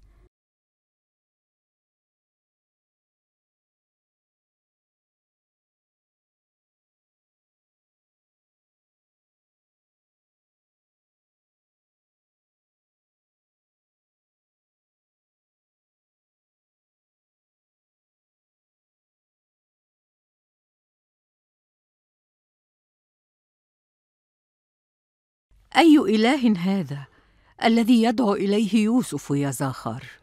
يقول إن للكون إلها واحدا لا شريك له. إلها واحدا؟ و... وأين هو؟ فنحن لم نعرفه وكيف سنراه؟ يقول إن هذا الإله في السماء. ها؟ في السماء. وكيف نصعد إليه لنراه؟ يقول إنه الواحد الأحد لم يلد ولم يولد. بهذا يكون الإله آمون في خطر عظيم. كيف يا مولاتي إن ليوسف تاثيرا كبيرا على الناس يا زخار. هل تنكر ذلك؟ لا أحد ينكر ذلك يا مولاتي إذا مرت السنوات العجاف بسلام على هذه البلاد فسوف تزداد محبة يوسف أكثر فأكثر عند الناس. من الآن والناس تعتبره البطل والمخلص لهذه البلاد. وقتها أي شيء سيقوله يوسف سيصدقه الناس. وهذا هو الخطر الخطر الحقيقي.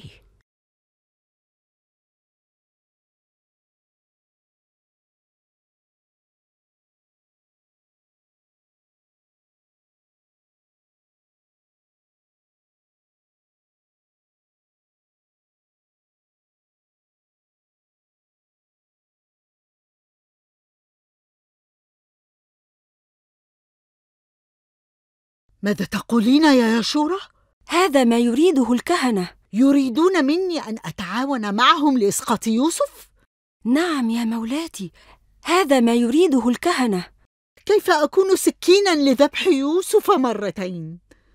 مرة بالسجن ومرة بإسقاطه من منصبه آه، هذا ما جعلني أتردد في مصارحتك هذا أمر مستحيل يا يشورة مستحيل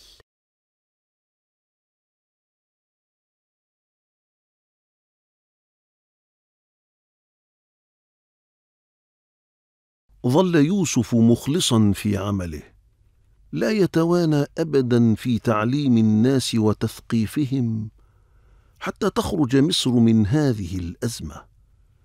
فتابع بنفسه كيف تسير الأمور وكيف تتم الزراعة وتخزين المحاصيل استعدادا لأيام الجفاف المنتظرة. أصبح الناس يثقون أكثر وأكثر بيوسف الصديق. وأصبح يوسف رمزا للإخلاص في عمله والتفاني فيه حتى أصبح نموذجا يحتذى به في مصر كلها.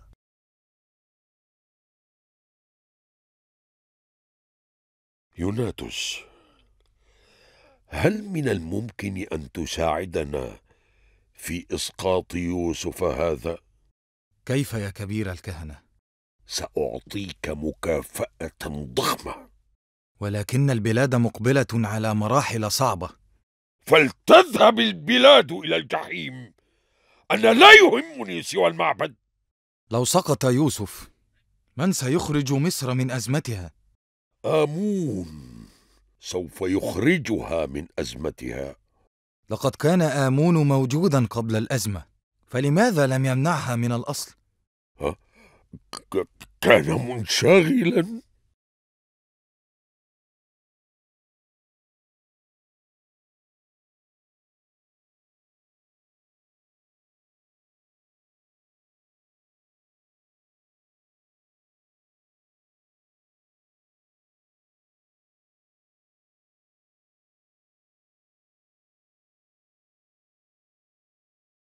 ما الذي يفعله يوسف؟ إنه يقول كلاما غريبا. يقول إن هناك جفافا وفقرا قادم وهذا غير صحيح. بل إن كلامه صحيح. النيل لا يمكن أن يجف أبدا. لقد جف قبل ذلك. لو حدث هذا حقا ستكون كارثة.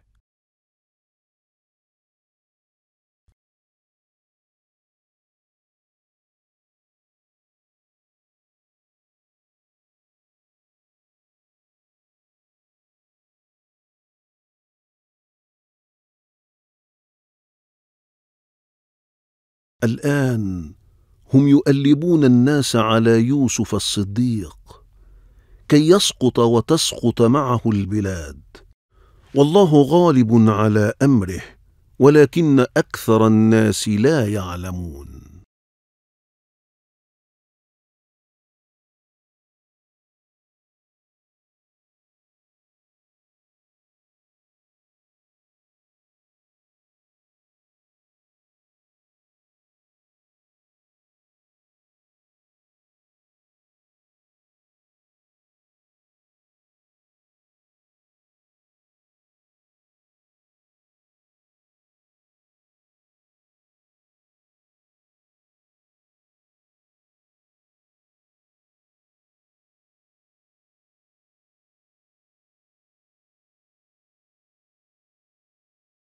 بسم الله والحمد لله. والصلاة والسلام على سيدنا محمد. عدد ما أمطرت السماء منذ بنيتها. وصل على سيدنا محمد. عدد ما أنبتت الأرض منذ دحوتها. وصل على سيدنا محمد. عدد النجوم في السماء فإنك أحصيتها. وصل على سيدنا محمد. عدد ما تنفست الأرواح منذ خلقتها وعلى آله وصحبه وسلم. ثبت يوسف الصديق مكانته عند الملك. بعد أن خطط لمصر كيف يمكن أن تخرج من أزمتها. من الطبيعي أن يحاول الكهنة إيقاف تقدم يوسف ونجاحه في إقناع الناس بعبادة رب واحد أحد. وعلينا أن ننتظر ما ستسفر عنه الأيام القادمة.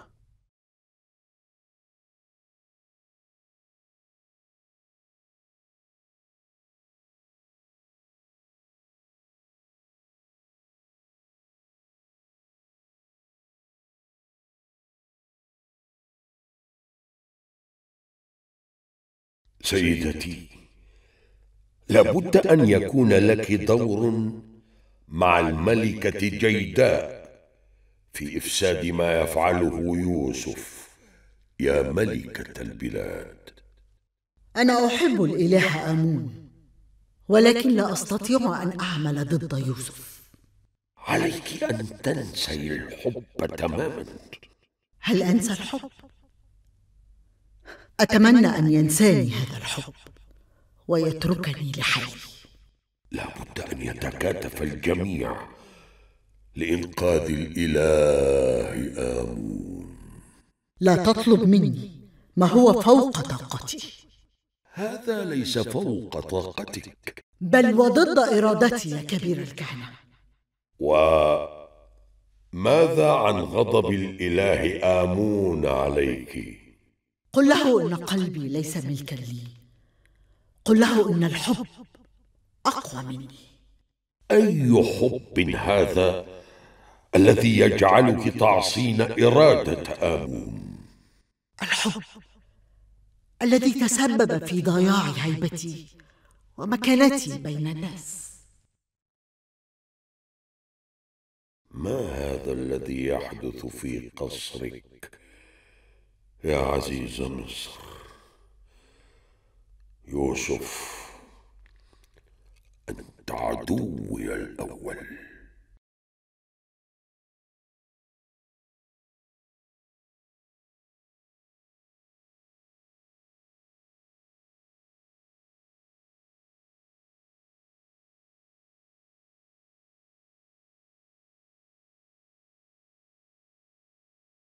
هل أنقذك زاهد يا ولدي؟ أأنت متأكد؟ هذا العربي؟ كاد اللص أن يسرق أموالي يا أمي يا ولدي الحبيب أنا لا أريدك أن تتأذى لقد تدخل هذا الرجل في الوقت المناسب لابد أن أشكره حين أراه ماذا يريد هذا الرجل منك يا أمي؟ يريد أن يتزوجني وأنا أرفض لماذا ترفضين يا أمي؟ حقا؟ أنت لا ترفض زواجي؟ أنا لا أمانع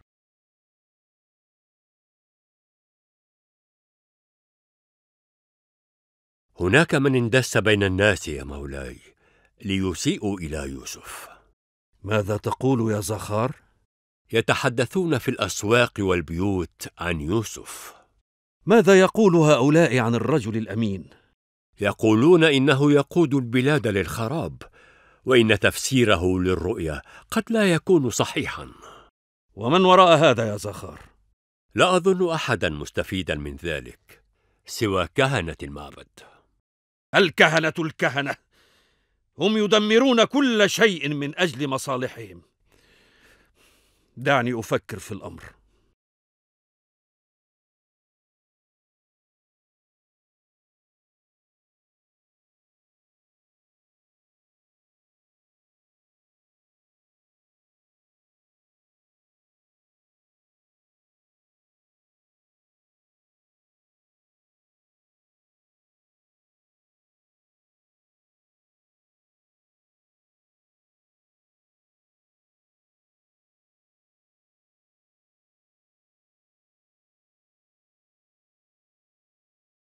لا أدري ما سر هذه الحرب الخفية على يوسف من قبل الكهنة والمعبد.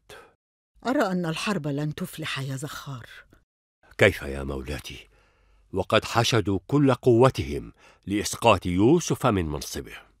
هل تعتقد أن الملك ساذج إلى هذه الدرجة؟ ولكنها المكيدة يا مولاتي. المشكلة ليست في فكر وبار ولا خور. ها؟ إذا أين المشكلة؟ المشكلة هي هل سينجح يوسف في المرور بمصر؟ من هذه المحنة؟ أثق في قدرة يوسف إلى حد بعيد. وأنا أيضا أثق بيوسف. إن غياب العزيز عن المشهد الآن يعد خسارة كبيرة. العزيز في حالة سيئة.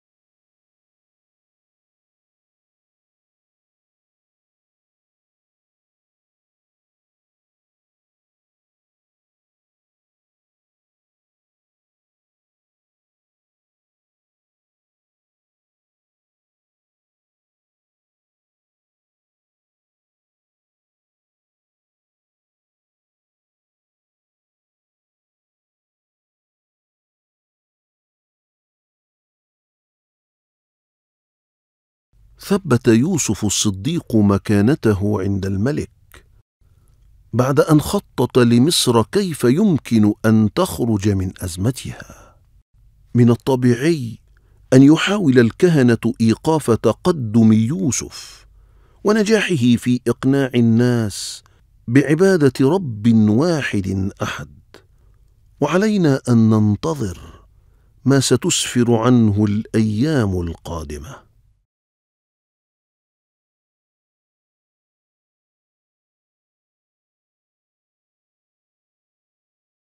وهكذا استمر عمل المصريين بكل حب واجتهاد. مطيعين يوسف في خطته الحكيمة نحو الوصول بمصر إلى بر الأمان والخروج بها من هذه الأزمة بسلام.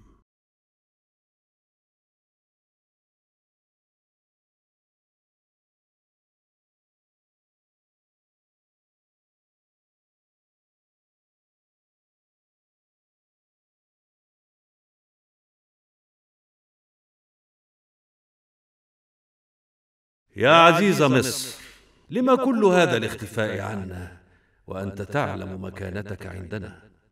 يا مولاي حالتي ليست بالطيبة الآن. يا عزيز مصر أنت بذلت جهودا كبيرة لنفع هذه البلاد. وسأعطي لبلادي ما تبقى من عمري. ماذا تريد مني لأفعله لأجلك يا عزيز مصر؟ أن تلتمس لي العذر. إن قصرت في أداء عملي في هذه الأيام الصعبة. عليك أن تسافر. فالنيل ممتد وملكنا يسع هذا العالم. أسافر؟ أستريح. نعم سافر لتغير الأجواء وتستريح قليلا. وشؤون الحكم يا مولاي. سأكلف زخار بالقيام بعملك حتى تعود. سمعا وطاعة يا مولاي. كيف لامرأة أن تكسر رجلها؟ كل هذا الانكسار. كيف؟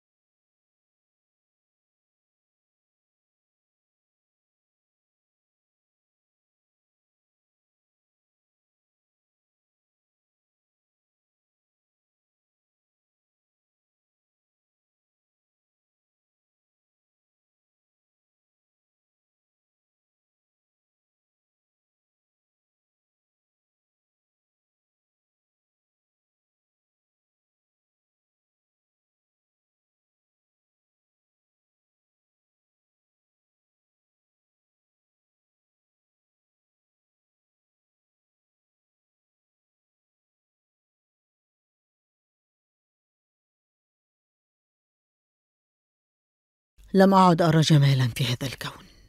إن انكسار المرأة في مشاعرها لا يعدله أي انكسار. عندما يكون معي زوجي ولا أشعر بوجوده. عليك أن تسافر. فالنيل ممتد وملكنا يسع هذا العالم. أسافر. أستريح. نعم سافر لتغير الأجواء وتستريح قليلا. وشؤون الحكم يا مولاي. سأكلف زخار بالقيام بعملك حتى تعود. سمعا وطاعة يا مولاي.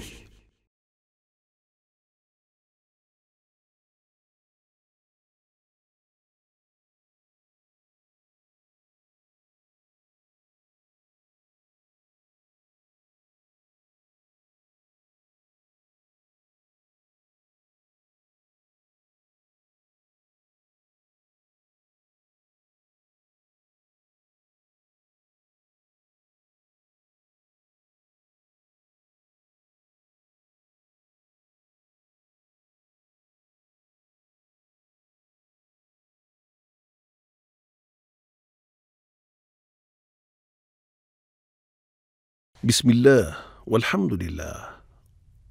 والصلاه والسلام على سيدنا محمد الحبيب البشير الشفيع النذير الذي أخبر عن ربه بأن له في كل نفس مئة ألف فرج قريب. وسلم تسليما كثيرا. ليس غريبا على من اتقى وصبر أن يعطيه الله ما تمنى. ولكن الغريب أن ييأس الإنسان من روح الله فإنه لا ييأس من روح الله إلا القوم الكافرون. يوسف الصديق أعطى مثالا قويا بالصبر على البلاء والرفعة بعد الصبر فقد امتلك يوسف زمام الأمور في مصر.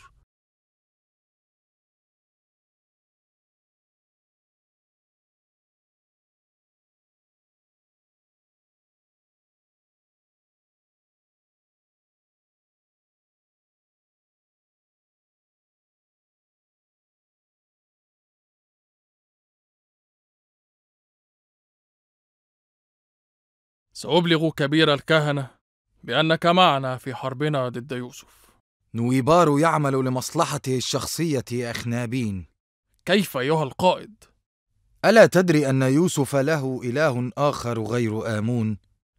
أعلم أن هذا في غاية الخطورة على كهنة المعبد إنهم يستفيدون من عبادة آمون أموالا ونفوذا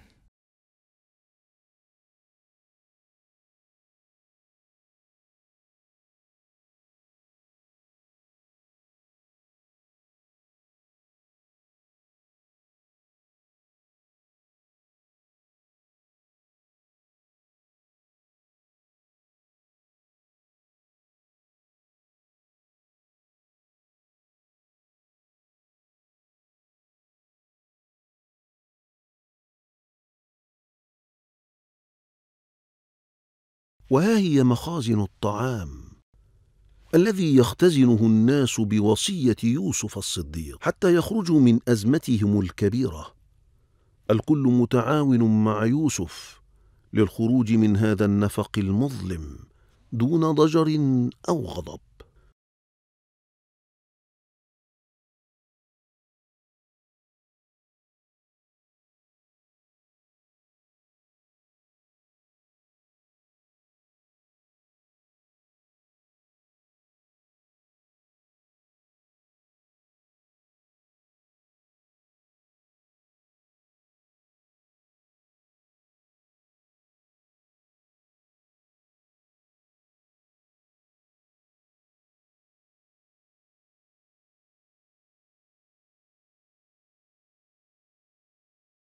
هذه هدية كبيرة يا زاخار أن يكون يوسف بيننا.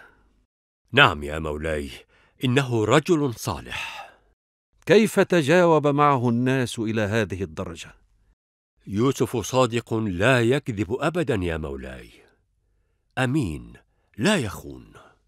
ولكنني أخشى عليه من المتآمرين يا زخار.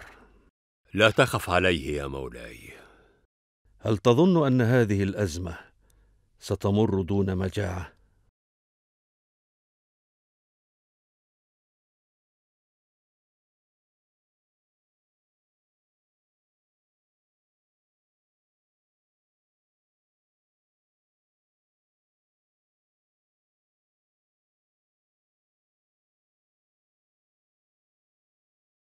ما زال الصراع مستمرا بين إخوة يوسف فهم قد أدركوا أنهم قد أجرموا في حق أخيهم المظلوم وفي حق أنفسهم. فهم أبناء نبي ولا يحق لهم فعل هذا الأمر لهذا هم دائما في هم وغم.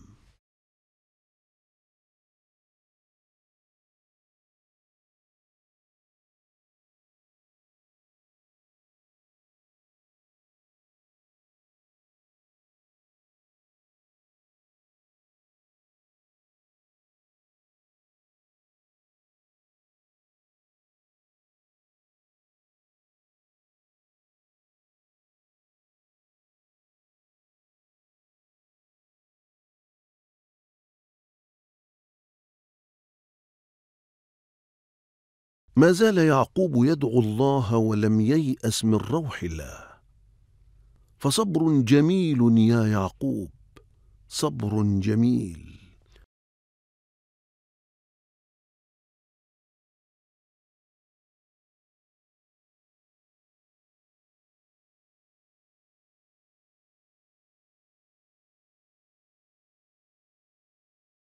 ما زال يوسف يحاول إنقاذ مصر من المجاعة والضياع فهو يعمل بالنهار وبالليل يصلي ويدعو ويتوجه إلى الله بالعبادة والدعاء والتسبيح.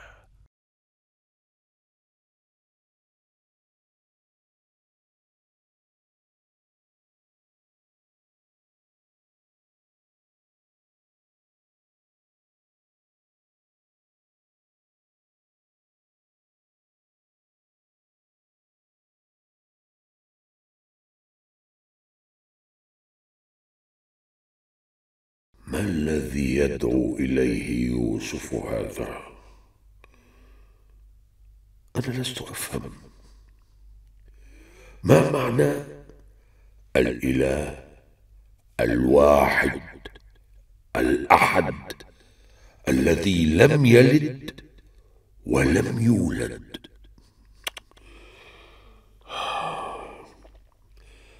هذا كلام جديد علينا. ما الذي يحدث. وماذا سيحدث لو آمن الناس بما يقوله يوسف هذا؟ ماذا سيحدث؟ إننا لا نعرف غير الإله آمون. فكيف إذا اتبع الناس دين يوسف الجديد. من الذي أخرجك من السجن أيها الرجل العنيد؟ كيف تقف أمامنا وتحطم آلهتنا؟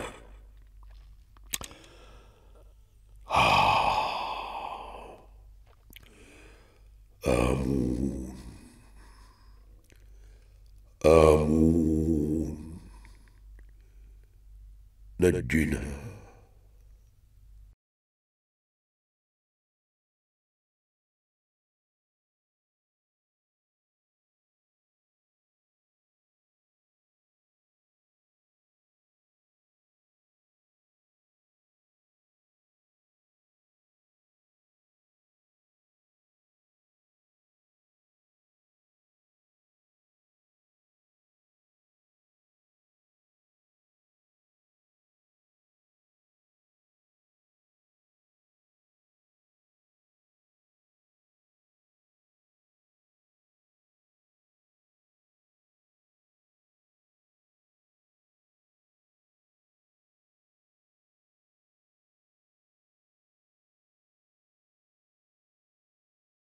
بسم الله الرحمن الرحيم.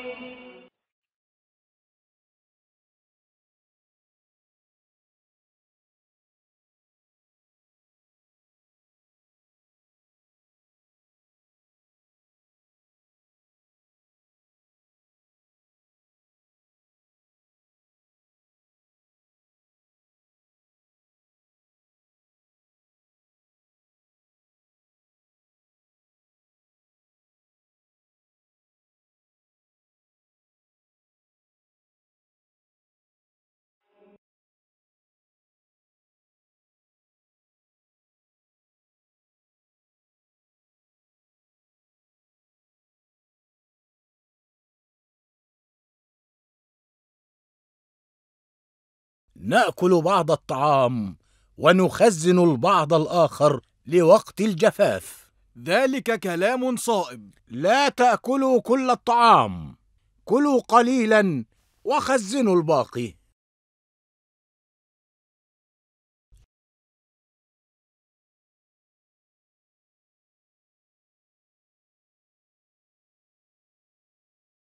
أصبح الطعام يدور على الناس بقدر قليل. حتى يكفي الطعام أيام الجفاف. وهذه هي حكمة يوسف للخروج من الأزمة الراهنة.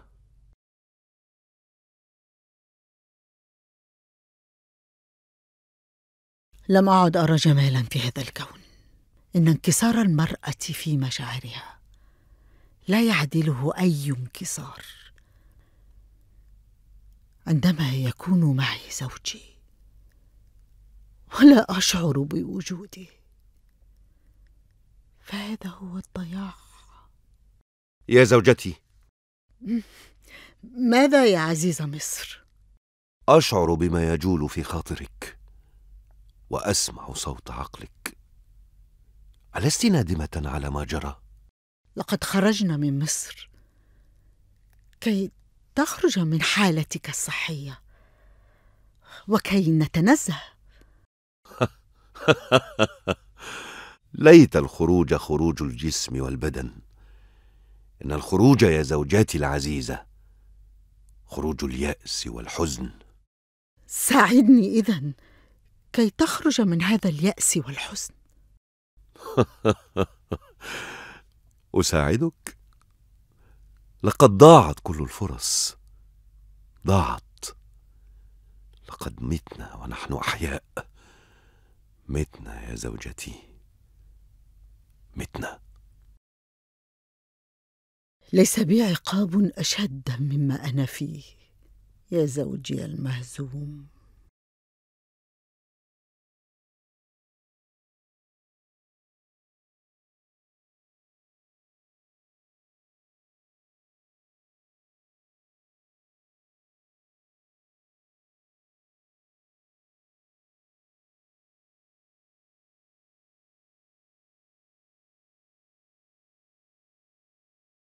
ما كل هذا الصبر على البلاء يا نبي الله يعقوب؟ أنت هنا تبكي وولدك هناك في بلاد النيل الجميلة أصبح امينا على خزائن مصر. يا نبي الله يعقوب ربما اقترب الفرج وربما حانت لحظة اللقاء التاريخي بينك وبين ولدك البعيد عنك.